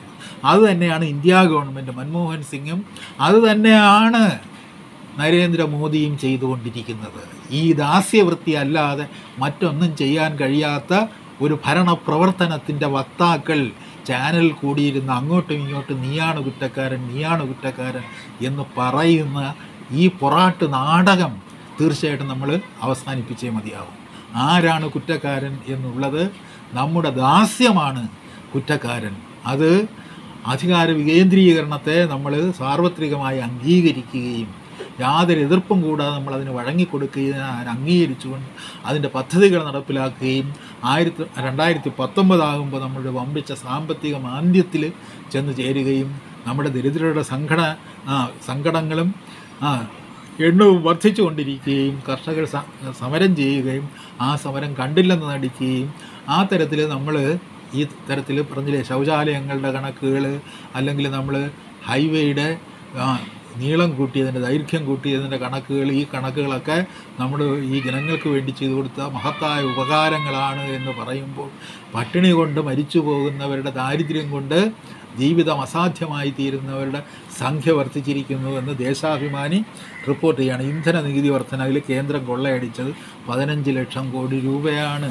പതിനഞ്ച് ലക്ഷം കോടി രൂപ കൊള്ളയടിച്ചിട്ട് പോലും ഈ കൊള്ളയടിക്കുന്ന എവിടെ നിന്നാണ് അതിന് വേണ്ടിയുള്ള ആ പണം ജനങ്ങളിൽ നിന്ന് എക്സ്ട്രാക്ട് ചെയ്തിരിക്കുന്നു പതിനഞ്ച് ലക്ഷം കോടി രൂപ. അങ്ങനെ പതിനഞ്ച് ലക്ഷം കോടി രൂപയിൽ നിന്ന് നമ്മൾ നാല് ലക്ഷം കോടിയുടെ കടം കൂടെ അതിന്റെ കൂട്ടത്തിലങ്ങ് പോകുമോ എന്ന് വേണമെങ്കിൽ ബാലഗോപാലിനോട് ചോദിക്കാം. അപ്പോൾ പതിനഞ്ച് ലക്ഷം കോടി അത് കൊള്ളയടിച്ചിട്ട് ആ കൊള്ളയുടെ ഒരു ചെറിയൊരു ഓഹരി മാത്രമേ നമുക്ക് കിട്ടിയിട്ടുള്ളൂ. അതിന് നമ്മൾ തിരികെ കൊടുക്കണോ എന്നുള്ളതാണ് ചെയ്യുന്നത്. കൊള്ളപ്പണം എന്ന് പറയുന്നത് എല്ലാവർക്കും അനുഭവിക്കാൻ യോഗമുള്ളതല്ലേ എന്നുള്ള ചോദ്യം മാത്രമാണ്. ഞാൻ അതിന്റെ മറ്റു വശങ്ങളിലേക്ക് കടക്കുന്നില്ല. കാര്യം നമുക്ക് കേരളം എന്നുള്ളൊരു സംസ്ഥാനം എന്നുള്ള രീതിയിൽ കേരളത്തിനൊരു സാമ്പത്തിക വ്യവസ്ഥയും ഒരു സമ്പദ്ക്രമവും സ്വതന്ത്രം എന്ന് പറയാവുന്ന ഒരു പരിധി. അതായത് നമ്മൾ പറയും ഇപ്പോൾ ജി എസ് ടിക്ക് നമ്മൾ വഴങ്ങിക്കൊടുക്കുമ്പോൾ നമ്മൾ ഒരു സ്വതന്ത്ര സമ്പദ്ക്രമം അല്ലാതായി മാറുന്നതിന്റെ വളരെ ആ വിനാശകരമായൊരു പടിയായിരുന്നു ജി എസ് ടിക്ക് വഴങ്ങിക്കൊടുക്കുമ്പോൾ അതായത് നികുതി എന്ന് പറയുന്ന ആദ്യം എന്റെ കയ്യിൽ വരട്ടെ എന്നിട്ട് ഞാനത് വീതിച്ചു തരാം എന്ന് കേന്ദ്രം പറയുന്ന ഒരു അവസ്ഥയിലേക്ക് വരുമ്പോൾ വിൽപ്പന നികുതിന്മേലുള്ള അധികാരം സംസ്ഥാന ഗവൺമെന്റുകളിൽ നിന്ന് എടുത്തു കളയുമ്പോൾ ഇനി ഇനിയിപ്പോൾ പറഞ്ഞില്ലേ ഇത് വരുമ്പോഴത്തേക്ക് ഇത് ജി എസ് ടിയിൽ ഉൾപ്പെടുത്തി കഴിഞ്ഞാൽ നമുക്ക് മോക്ഷപ്രാപ്തി ഉണ്ടാകുമെന്ന് പറയുന്ന ഈ വാദമുഖങ്ങൾ ഉൾപ്പെടെ ഒരു സംസ്ഥാനത്തിന് പരിമിതമായി കിട്ടുന്ന സാമ്പത്തിക ആ സംഭരണത്തിന്റേതായിട്ടുള്ള അധികാരത്തിൽ തന്നെ കൈവച്ച് അത് തന്നെ എടുത്തുകൊണ്ടുപോയി പോയപ്പോൾ തന്നെ അതിനെ നമ്മൾ അനുകൂലിച്ചുകൊണ്ട് നമ്മുടെ ധനകാര്യമന്ത്രി ഒരു പ്രസ്താവന വരെ ഇറക്കി. അത് നമ്മളൊരു ഉപഭോഗ സംസ്ഥാനമായതുകൊണ്ട് ഇതിന്റെ ഗുണം നമുക്കാണ് കിട്ടാൻ പോകുന്നതെന്ന് ഒരു പ്രസ്താവന വരെ ഇറക്കിയപ്പോൾ ഞാൻ ആ കാര്യങ്ങളിലേക്ക് കൂടുതലായിട്ട് കടന്നു പോകുന്നില്ല. അപ്പോൾ ഇന്ന് പറയാൻ ഉദ്ദേശിച്ച കാര്യം പ്രധാനമായിട്ട് ഒന്ന് പി എ ദിവാകരൻ എന്ന് പറയുന്ന ഒരു എഴുത്തുകാരൻ അതായത് ചെറുകഥയുടെ ഒരു ഒരു ക്രാഫ്റ്റ് എന്ന് പറയുന്നത് വളരെ അപൂർവ ഭംഗിയോടെ അപൂർവ ചാരുതയോടെ അവതരിപ്പിച്ചിരുന്ന ഒരു എഴുത്തുകാരന്റെ മരണവാർത്ത കേൾക്കാനിടയായി. അതായത് സാധാരണഗതിയിൽ ഈ മാധ്യമങ്ങൾ പൊന്തിച്ച് കാണിക്കാതെ അങ്ങനെ വളരെ നിശബ്ദനായിട്ട് ഈ ക്ലിക്കുകളും ഗ്രൂപ്പുകളും ഇല്ലാതെ എഴുതിക്കൊണ്ടിരിക്കുന്ന ദിവാകരൻ മലയാളത്തിലെ ഏറ്റവും നല്ല കഥാകൃത്തുകളിൽ ഒരാളായിരുന്നു. അദ്ദേഹത്തിന്റെ മരണം ആ മരണത്തിൽ തീർച്ചയായിട്ടും മരണത്തിൽ നമ്മൾ വേദനിച്ചിട്ട് കാര്യമില്ല. അദ്ദേഹം ഒരു അവഗണിക്കപ്പെട്ട ഒരു എഴുത്തുകാരൻ എന്നുള്ള രീതിയിൽ അദ്ദേഹം ജീവിച്ചു അദ്ദേഹം മരിച്ചു അദ്ദേഹം അദ്ദേഹത്തിന്റെ ആ സാഹിത്യ രചന അദ്ദേഹത്തിന്റെ ഒരു ജീവിത പ്രയത്നത്തിന്റെ ഭാഗമാക്കി മാറ്റി. അദ്ദേഹത്തെ ഇവിടെ ഓർമ്മിക്കുകയാണ്. അത് കഴിഞ്ഞിട്ട് കോവിഡിന്റെ ചിലവിന്റെ കാര്യം പറഞ്ഞു. പിന്നെ വരുന്നത് സുധാകരൻ പ്രശ്നവും റിസർച്ച് ദുരഭിമാന പ്രശ്നങ്ങളൊക്കെ ചർച്ച ചെയ്യണമെന്ന് വിചാരിച്ചതാണ്. പക്ഷേ ഇന്ന് ഇതിലേക്ക് വന്നപ്പോഴത്തേക്ക് എന്റെ സമയം അതിക്രമിച്ചിരിക്കുകയാണ്. ഇപ്പോൾ ഞാൻ പറഞ്ഞുകൊണ്ട് വരുന്നത് എന്നാലും അത്യാവശ്യമായിട്ട് ഒരു കാര്യം മാത്രമേ ഞാൻ പറയൂ ഇപ്പോൾ സുധാകരനെ പറ്റി ഞാനൊന്നും പറയുന്നില്ല. സുധാകരൻ ഇന്നലെ നടന്നൊരു ചർച്ച ഞാൻ കേട്ടു. അതിൽ ഒരു ചാനലിന്റെ ആസ്ഥാന വിദുഷി ചോദിക്കുകയാണ്. ഈ സുധാകരന്റെ പേരിന്റെ എന്റെ പേരിൽ നടപടിയെടുക്കുന്നതിൽ പാർലമെന്ററി വ്യാമോഹം അതൊരു പ്രശ്നമല്ലേ? അപ്പോൾ അത് വളരെ ഒരു ഒരു വലിയൊരു പണ്ഡിതൻ അതിന് ഉത്തരം പറയുകയാണ്. പാർലമെന്ററി വ്യാമോഹവും അത് തന്നെയാണ്. പാർലമെന്ററി വ്യാമോഹം എന്ന് പറയുന്നത് കമ്മ്യൂണിസ്റ്റുകാർ പാർലമെന്ററി വ്യാമോഹം എന്ന് പറയുന്നത് ഈ പറയുന്ന ഒരു സായുധ വിപ്ലവത്തിലൂടെ സാധ്യമാകുന്ന ഒരു സോഷ്യലിസ്റ്റ് വ്യവസ്ഥിതി എന്ന് പറയുന്ന ഒരു സിദ്ധാന്തം പണ്ട് കമ്മ്യൂണിസ്റ്റുകാർ ഉയർത്തിപ്പിടിച്ചിരുന്നു. അതല്ല പാർലമെന്ററി മാർഗങ്ങളിലൂടെയും അത് സാധ്യമാകും എന്നുള്ള ഒരു ചിന്തയാണ് കമ്മ്യൂണിസ്റ്റുകാർ പാർലമെന്ററി വ്യാമോഹം എന്ന് പറയുന്നത്. അത് നമ്മുടെ ആസ്ഥാന വിദുഷിക്ക് അറിഞ്ഞുകൂടെങ്കിൽ പഴയ കമ്മ്യൂണിസ്റ്റുകാരോട് അറിഞ്ഞു ഇപ്പോൾ ഇപ്പോഴത്തെ മുഖ്യ ഭരണാധികാരിയെടുത്ത് ചോദിച്ചാലും പാർലമെന്ററി വ്യാ അദ്ദേഹത്തിന് പറഞ്ഞ വ്യാമോഹങ്ങളുടെ ലോകത്ത് ജീവിക്കുന്നവരടുത്ത് ചോദിച്ചു കഴിഞ്ഞാൽ അതാണ് പറയുക. അതായത് എന്താ എങ്ങനെയാണ് നമ്മൾ ഒരു സോഷ്യലിസ്റ്റ് ഭരണവ്യവസ്ഥ ഇവിടെ രൂപപ്പെടുത്തുന്നത്? അതിന് പറഞ്ഞില്ലേ ഒരു ആംഡ് റിബല്യൻ അല്ലെങ്കിൽ ഒരു ആംഡ് റെവല്യൂഷൻ ആവശ്യമാണോ ഇല്ലയോ എന്നുള്ള ഒരു തർക്കം കമ്മ്യൂണിസ്റ്റ് പാർട്ടി ഉണ്ടായപ്പോൾ നമുക്ക് പാർലമെന്ററി മാർഗങ്ങളിലൂടെയും നമുക്ക് ഒരു സോഷ്യലിസ്റ്റ് വ്യവസ്ഥ നമുക്കിവിടെ രൂപപ്പെടുത്തിയെടുക്കാൻ പറ്റും എന്ന് പറയുന്ന ഒരു വിഭാഗം ഉണ്ടായിരുന്നു. ആ ഒരു വിഭാഗത്തിന്റെ ആശയത്തെയാണ് പാർലമെന്ററി വ്യാമോഹം എന്ന് പറയുന്നത്. അല്ലാതെ പാർലമെന്ററി സമ്പ്രദായത്തിൽ എനിക്ക് മന്ത്രിയാകാം എനിക്ക് ഉപമുഖ്യമന്ത്രിയാകാം എനിക്ക് മുഖ്യമന്ത്രിയാകാം എനിക്ക് എം എൽ എ ആകാം എനിക്ക് ഈ പറഞ്ഞില്ലേ പഞ്ചായത്ത് മെമ്പറാകാം അത് തൊട്ട് ഇങ്ങോട്ട് ബോർഡ് ചെയർമാനാകാം അതൊന്നും പാർലമെന്റുമായിട്ട് ബന്ധപ്പെട്ട കാര്യങ്ങളൊന്നുമില്ല ബോർഡ് ചെയർമാനൊക്കെ ആകുന്നത്. ബോർഡ് ചെയർമാനാകാം അല്ലെങ്കിൽ വേറെ എന്താ അല്ലെങ്കിൽ പറഞ്ഞില്ലേ ഒരു തോറ്റുപോയൊരു എം പിയെ നമ്മൾ മന്ത്രിയുടെ സ്ഥാനവും കൊടുത്ത് രണ്ട് ഒരു നാലഞ്ച് വർഷക്കാലം ഡൽഹിയിൽ ഇരുത്തിയിരുന്നു ഇപ്പോൾ അദ്ദേഹത്തിന്റെ അവസ്ഥ എന്താണെന്ന് അറിയില്ല. വേറെ എന്തെങ്കിലും പണി അദ്ദേഹത്തിന് കിട്ടി കാണുമെന്ന് എനിക്ക് അറിഞ്ഞൂടാ അപ്പോൾ അതുകൊണ്ട് അതിൽ നിന്ന് വിരമിച്ചു എന്ന് അറിഞ്ഞൂടാ അപ്പോൾ ആ തരത്തിൽ ഈ പറഞ്ഞില്ലേ ഒരു പാർലമെന്ററി സമ്പ്രദായത്തിൽ ലഭ്യമാകുന്ന സ്ഥാനമാനങ്ങളെ പറ്റിയുള്ള മോഹവും വ്യാമോഹവും അല്ല പാർലമെന്ററി വ്യാമോഹം എന്ന് പറയുന്നത്. എലിമെന്ററി ആയിട്ടുള്ള കാര്യങ്ങൾ പോലും അറിയാതെ ഈ സമ്പ്രത്യങ്ങൾ നമ്മൾ ടേംസ് എന്ന് ഇംഗ്ലീഷിൽ പറയും. അതായത് ഈ പൊളിറ്റിക്കൽ ടേംസ് എടുത്ത് പ്രയോഗിക്കുകയും ആസ്ഥാന പണ്ഡിതന്മാർ കേട്ടിട്ട് ആ അതെ അങ്ങനെ തന്നെ എന്ന് പറയുകയൊക്കെ കേൾക്കുമ്പോൾ ചിരി വരികയാണ്. അതായത് സമ്പൂർണമായ രാഷ്ട്രീയ നിരക്ഷരതയിൽ നിന്ന് രൂപം കൊണ്ടുവരുന്ന വളരെ ഉപരിപ്ലവമായ പ്രശ്നങ്ങളെ തമ്മിലുള്ള ചില കണക്കുകൾ കൊണ്ടുള്ള കസർത്തും ഒക്കെ കാണിച്ച് ഒരു പാണ്ഡിത്യ പ്രകടനത്തിന്റെ അന്തരീക്ഷം ഉണ്ടാക്കി ജനങ്ങളെ വലയ്ക്കരുത് എന്നാണ് എനിക്ക് ഇതിൽ പറയാനുള്ളത്. പിന്നീട് താമസിച്ചു പോയെങ്കിലും സുധാകരനെതിരെ നടപടി എടുത്തപ്പോൾ എനിക്ക് തിരിച്ച് ചോദിക്കാനൊരു ചോദ്യമുണ്ട്. കാര്യം വെച്ച് കഴിഞ്ഞാൽ ഈ കഴിഞ്ഞ ആഴ്ചയിൽ തന്നെ കേരളത്തിലെ ഉത്തരവാദിത്തപ്പെട്ട ഒരു ഹൈക്കോടതി പറയുകയാണ് ഒരാൾ പണാപഹരണം നടത്തിയിരിക്കുന്നു. പണാപഹരണം നടത്തിയിരിക്കുന്നതിന്റെ തെളിവുകൾ ഹാജരാക്കിയിരിക്കുന്നു. അതിന്റെ അടിസ്ഥാനത്തിൽ അതായത് നമ്മളിപ്പോൾ ഒരു കുറ്റാരോപിതരുടെ സമൂഹമാണെന്ന് പറയാൻ പറ്റില്ല. അപ്പോൾ കുറ്റം ആരുടെ പേരും ആരോപിക്കാൻ ഇപ്പോൾ നമ്മുടെ മുഖ്യ ഭരണാധികാരിയുടെ മേലെ ഒരുപാട് കുറ്റ ആരോപണങ്ങളാണ് പക്ഷേ ഇത് അതുപോലെയല്ല. ഒരു അവിടെ വരുമ്പോഴത്തേക്ക് അദ്ദേഹം എക്സോണറേറ്റ് ചെയ്ത് വിട വിടുകയാണ് ചെയ്തത്. ഇത് എക്സോണറേറ്റ് ചെയ്ത് പോലീസുകാർ എക്സോണറേറ്റ് ചെയ്ത് വിട്ടിട്ടും കോടതി പിടിവിടാതെ ഇതിൽ മോഷണം നടന്നിരിക്കുന്നു. അതിനെ സംബന്ധിച്ചുള്ള കുറ്റപത്രം കൊടുത്ത് അതിന്റെ നടപടിക്രമങ്ങളുമായിട്ട് മുന്നോട്ട് പോകണം എന്ന് പറയുന്ന ഒരു മനുഷ്യൻ ഇവിടെ സ്വൈരവിഹാരം നടത്തുകയാണ്. അയാൾക്കൊരു സമൺസ് പോയിട്ടില്ല. എത്ര വർഷങ്ങളായിട്ടുള്ളൊരു അവസ്ഥയാണ്. ഒരു മാസം രണ്ട് മാസം എന്നൊക്കെ പറയാം. വർഷങ്ങളായിട്ടുള്ള അവസ്ഥയാണ് അയാൾ സ്വൈര സ്വ- സ്വൈരവിഹാരം നടത്തുന്ന ഒരു ആഭ്യന്തര വകുപ്പ് കൈകാര്യം ചെയ്യുന്ന ഒരു മന്ത്രിക്കെതിരെ എന്തുകൊണ്ടാണ് അച്ചടക്ക നടപടി വേണമെന്ന് കേരളത്തിലെ സംസ്ഥാന സമിതിക്ക് തോന്നാത്തത്? കേരളത്തിലെ സി പി എമ്മിന്റെ സംസ്ഥാന സമിതി എന്ന് പറയുന്നത് ഈ പറയുന്ന ഈ അഴിമതി ആരോപണത്തിന് വിധേ- വിധേയനായി പണാപഹരണ കുറ്റത്തിന് വിധേയനായി വിചാരണ നേരിടാൻ ബാധ്യസ്ഥനായിരിക്കുന്ന ആളിൽ നിന്ന് നിരന്തരമായി പലതരത്തിലുള്ള ആനുകൂല്യങ്ങളും പറ്റിക്കൊണ്ടിരിക്കുന്ന ഒരു പാർട്ടിയാണ് എന്നുള്ളത് കൊണ്ട് ഈ സംസ്ഥാന സമിതിക്കെതിരെ സംസ്ഥാന സമിതി തന്നെ നടപടി എടുക്കേണ്ടതാണ്. ഇപ്പോൾ സുധാരം ചെയ്തു എന്ന് പറയുന്നത് സംസ്ഥാന സമിതിയും ജില്ലാ കമ്മിറ്റിയും ഒക്കെ ചെന്ന് അവിടെ അടകൂടി കിടന്ന് അവിടെ ഉണ്ടും ഉറങ്ങിയും എന്റെ എന്റെ അടുത്ത് ഒരു പറഞ്ഞില്ല അവിടെ സ്ഥാനാർത്ഥിയായിട്ട് മത്സരിച്ച ഇപ്പോൾ ജീവിച്ചിരിപ്പില്ലാത്ത ഒരു കക്ഷി എന്റെ അടുത്ത് പറഞ്ഞതാണ്. അയ്യോ എന്നെ രാവിലെ മുതൽ നടേശന്റെ വീട്ടിൽ കൊണ്ടുപോയി പിടിച്ചിരുത്തിയതാണ്. അയാൾ എന്നെ ഒരു വിധത്തിൽ വിടുന്നില്ല ഞാൻ അവിടെ ഇരുന്ന് നരകിച്ചു പോയി. എന്തിനാണ് എന്നെ അവിടെ ഇരുത്തിയിരിക്കുന്നതെന്നോ എന്തിനാണ് ഞാൻ അവിടെ ഇരിക്കുന്നത് എനിക്ക് തന്നെ അറിഞ്ഞുകൂടായിരുന്നു. കാര്യം വെച്ച് കഴിഞ്ഞാൽ അത് ജസ്റ്റ് പ്ലീസ് അതായത് ഒരു ബാരനെ ഒരു ബാരൻ എന്ന് പറയുന്ന എല്ലാ അർത്ഥത്തിൽ ഏതിന്റെ ബാരനാണെന്ന് ഞാൻ പറയുന്നില്ല. അയാളുടെ പക്കൽ നിന്ന് കിട്ടുന്ന പണം പണത്തിന് അയാളെ പ്ലീസ് ചെയ്യാൻ വേണ്ടി ഒരു ഒരു ഗ്ലാമർ ഒരു സെലിബ്രിറ്റി എന്ന് പറയുന്ന ഒരു കാൻഡിഡേറ്റിനെ കിട്ടിയപ്പോഴത്തേക്ക് അദ്ദേഹത്തെ കൊണ്ട് ഇദ്ദേഹത്തിന്റെ വീട്ടിൽ ഇരുത്തി കൊടുക്കുകയാണ് പാർട്ടി. പാർട്ടിയുടെ ജോലിയാണത്. ആലപ്പുഴ ജില്ലയിലെ പാർട്ടിയുടെ ഇപ്പോൾ മരിച്ചു പോയ ഒരാളിനെ നമുക്ക് സാക്ഷ്യപ്പെടുത്താൻ പറ്റില്ല കണ്ടപ്പോൾ സൗഹൃദ സംഭാഷണത്തിനിടയിൽ പറയുകയാണ് അത് വളരെ ഇതായിട്ടും നേരത്തെ പരിചയം ഉണ്ടായിരുന്ന ഒരാളായിട്ട് പറയുകയാണ് എനിക്ക് തോറ്റതിലോ തോൽക്കാതിരുന്നതിലോ ദുഃഖമില്ല. പക്ഷേ ഞാനും ഒരു കാലത്ത് ഈ യൂണിയനിലൊക്കെ ഉണ്ടായിരുന്ന ആളാണ്. പിന്നീട് ഞാൻ നാടകമായിട്ടൊക്കെ പോയി എങ്കിൽ പോലും വന്ന് വിളിച്ചു പാർട്ടി കാൻഡിഡേറ്റായിട്ട് നിൽക്കണമെന്ന് പറയുമ്പോൾ ഈ പഴയത് ചിലത് ഉള്ളിൽ കിടക്കുന്നതുകൊണ്ടാണ് പെട്ടെന്ന് സമ്മതിച്ചത്. പക്ഷേ ഇത് ഇങ്ങനെയുള്ളൊരു ശിക്ഷയായി തീരുമെന്ന് ഞാൻ കരുതിയില്ല.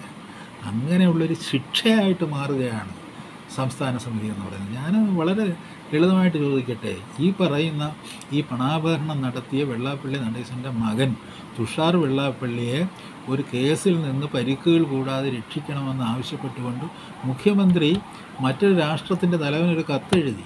അത് ഇവിടുത്തെ സംസ്ഥാന സമിതിയുടെ അനുമതിയോടുകൂടി ആയിരുന്നോ? അദ്ദേഹം പി ബി മെമ്പറാണ്. പി ബിയുടെ അനുമതി ഉൾപ്പെടെ വേണം. അല്ലെങ്കിൽ കേന്ദ്ര കമ്മിറ്റിയുടെ അനുമതി വേണം. അങ്ങനെ ഒരു കത്ത് എഴുതണം ഒരു രാഷ്ട്രത്തലവന് ഒരു- പറഞ്ഞില്ലേ? ഒരു ക്രിമിനൽ കുറ്റം ആരോപിച്ച് നടപടിക്ക് വിധേയനായിക്കൊണ്ടിരിക്കുന്ന ഒരു ഇന്ത്യക്കാരനെ വിട്ടയക്കണമെന്ന് പറഞ്ഞിട്ട് ഇവിടുത്തെ ഒരു മുഖ്യമന്ത്രി ഒരു കത്തയക്കണമെന്നുണ്ടെങ്കിൽ ആ അത് ഇവിടുത്തെ പ്രധാനമന്ത്രിയെ സർപ്പാസ് ചെയ്തു പോകാൻ പാടില്ല. അത് മാത്രമല്ല അത് ഔദ്യോഗികമായിട്ടുള്ള കാര്യം. അത് മാത്രമല്ല ഉത്തരവാദിത്തമുള്ള ഒരു രാഷ്ട്രീയ പ്രവർത്തകൻ എന്നുള്ള നിലയിൽ ഒരു പി വി മെമ്പർ എന്ന നിലയിൽ അയാൾ കാണിച്ചിരിക്കുന്ന ഏറ്റവും വലിയ അച്ചടക്ക ലംഘനമാണ്. ഇതൊരു കുറ്റാരോപണമല്ല. ഇത് നടന്ന കാര്യം ഈ രണ്ട് കാര്യങ്ങളെന്ന് പറയുന്നത് ഇങ്ങനെ ഒരു ഫ്രീ പ്ലേക്ക് വേണ്ടി പറഞ്ഞില്ല. ഇങ്ങനെ വെറും കുറ്റാരോപിതനല്ല. അതായത് കോടതിയിൽ സ്ഥാപിക്കപ്പെട്ട ഒരു ഫൈൻഡിങ്ങിന്റെ അടിസ്ഥാനത്തിൽ ഇയാളുടെ പേര് നടപടി വേണമെന്ന് കോടതി പറയുമ്പോൾ ആ നടപടിക്ക് വിധേയനാകേണ്ടുന്ന ആൾ ഈ തരത്തിൽ എല്ലായിടവും ഇങ്ങനെ കളിച്ചു നടക്കുകയും ഒരു കോളേജിന്റെ മാനേജർ സ്ഥാനത്തിരുന്നു കൊണ്ട് വീണ്ടും കൈക്കൂലി വാങ്ങിക്കൊണ്ടിരിക്കുകയും ചെയ്യുന്ന ഒരവസ്ഥ ഇവിടെ അങ്ങനെ സ്വതന്ത്രമായി നടന്നുകൊണ്ടിരിക്കുമ്പോൾ.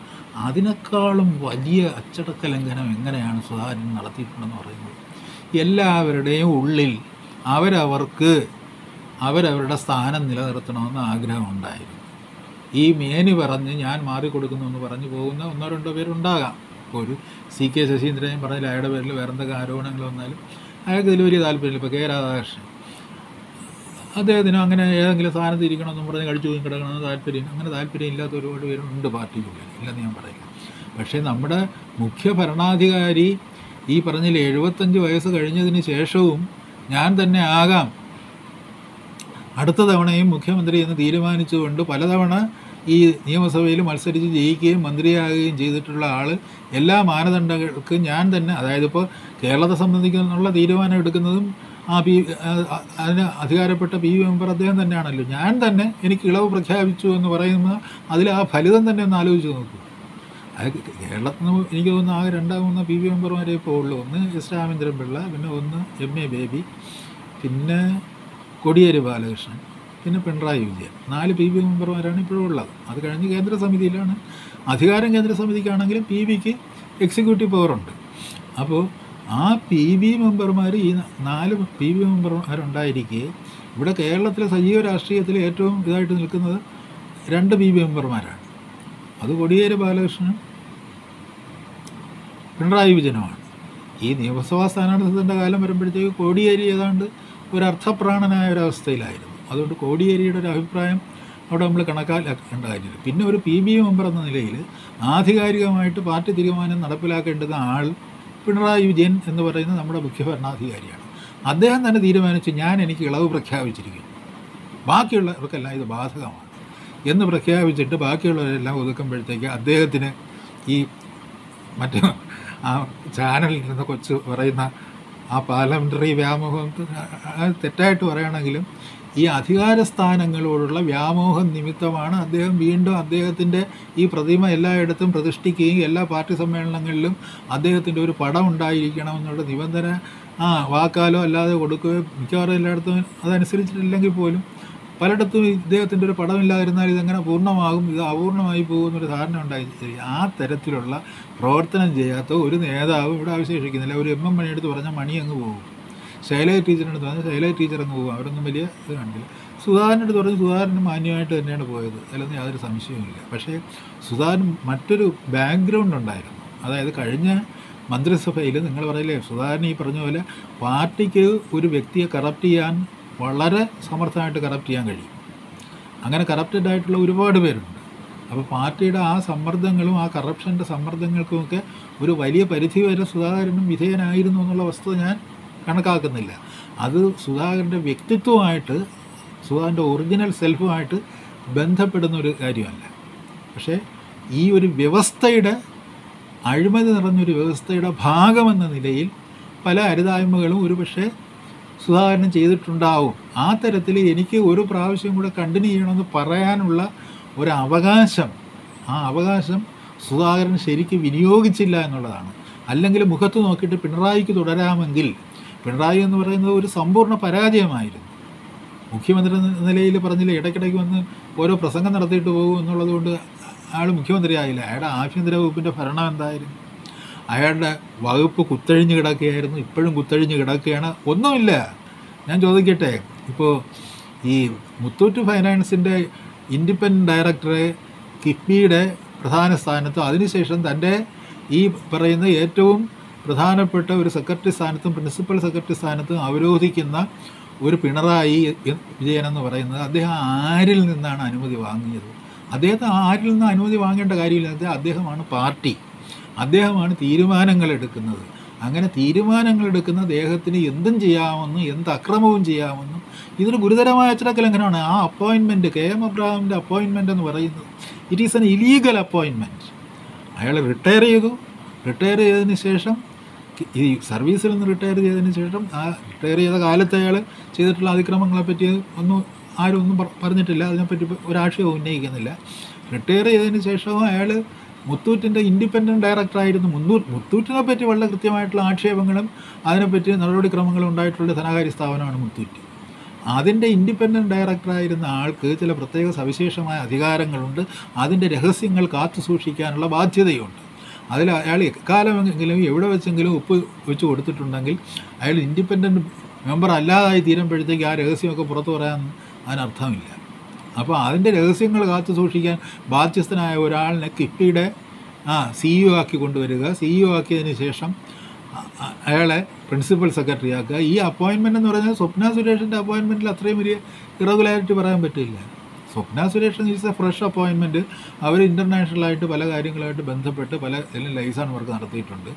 ഇവിടുത്തെ ഈ പറഞ്ഞ പോലെ സ്പേസ് പാർക്ക് എന്ന് പറയുന്നത് ഈ പറയുന്ന ഇപ്പോൾ ഈ ബിൽഗേറ്റ്സ് ഉൾപ്പെടെയുള്ളവരുടെ ഒരു വരവിനെ പ്രതീക്ഷിക്കുന്ന ഒരു സംരംഭമായിട്ട് ബന്ധപ്പെട്ട ഒന്നാണ്.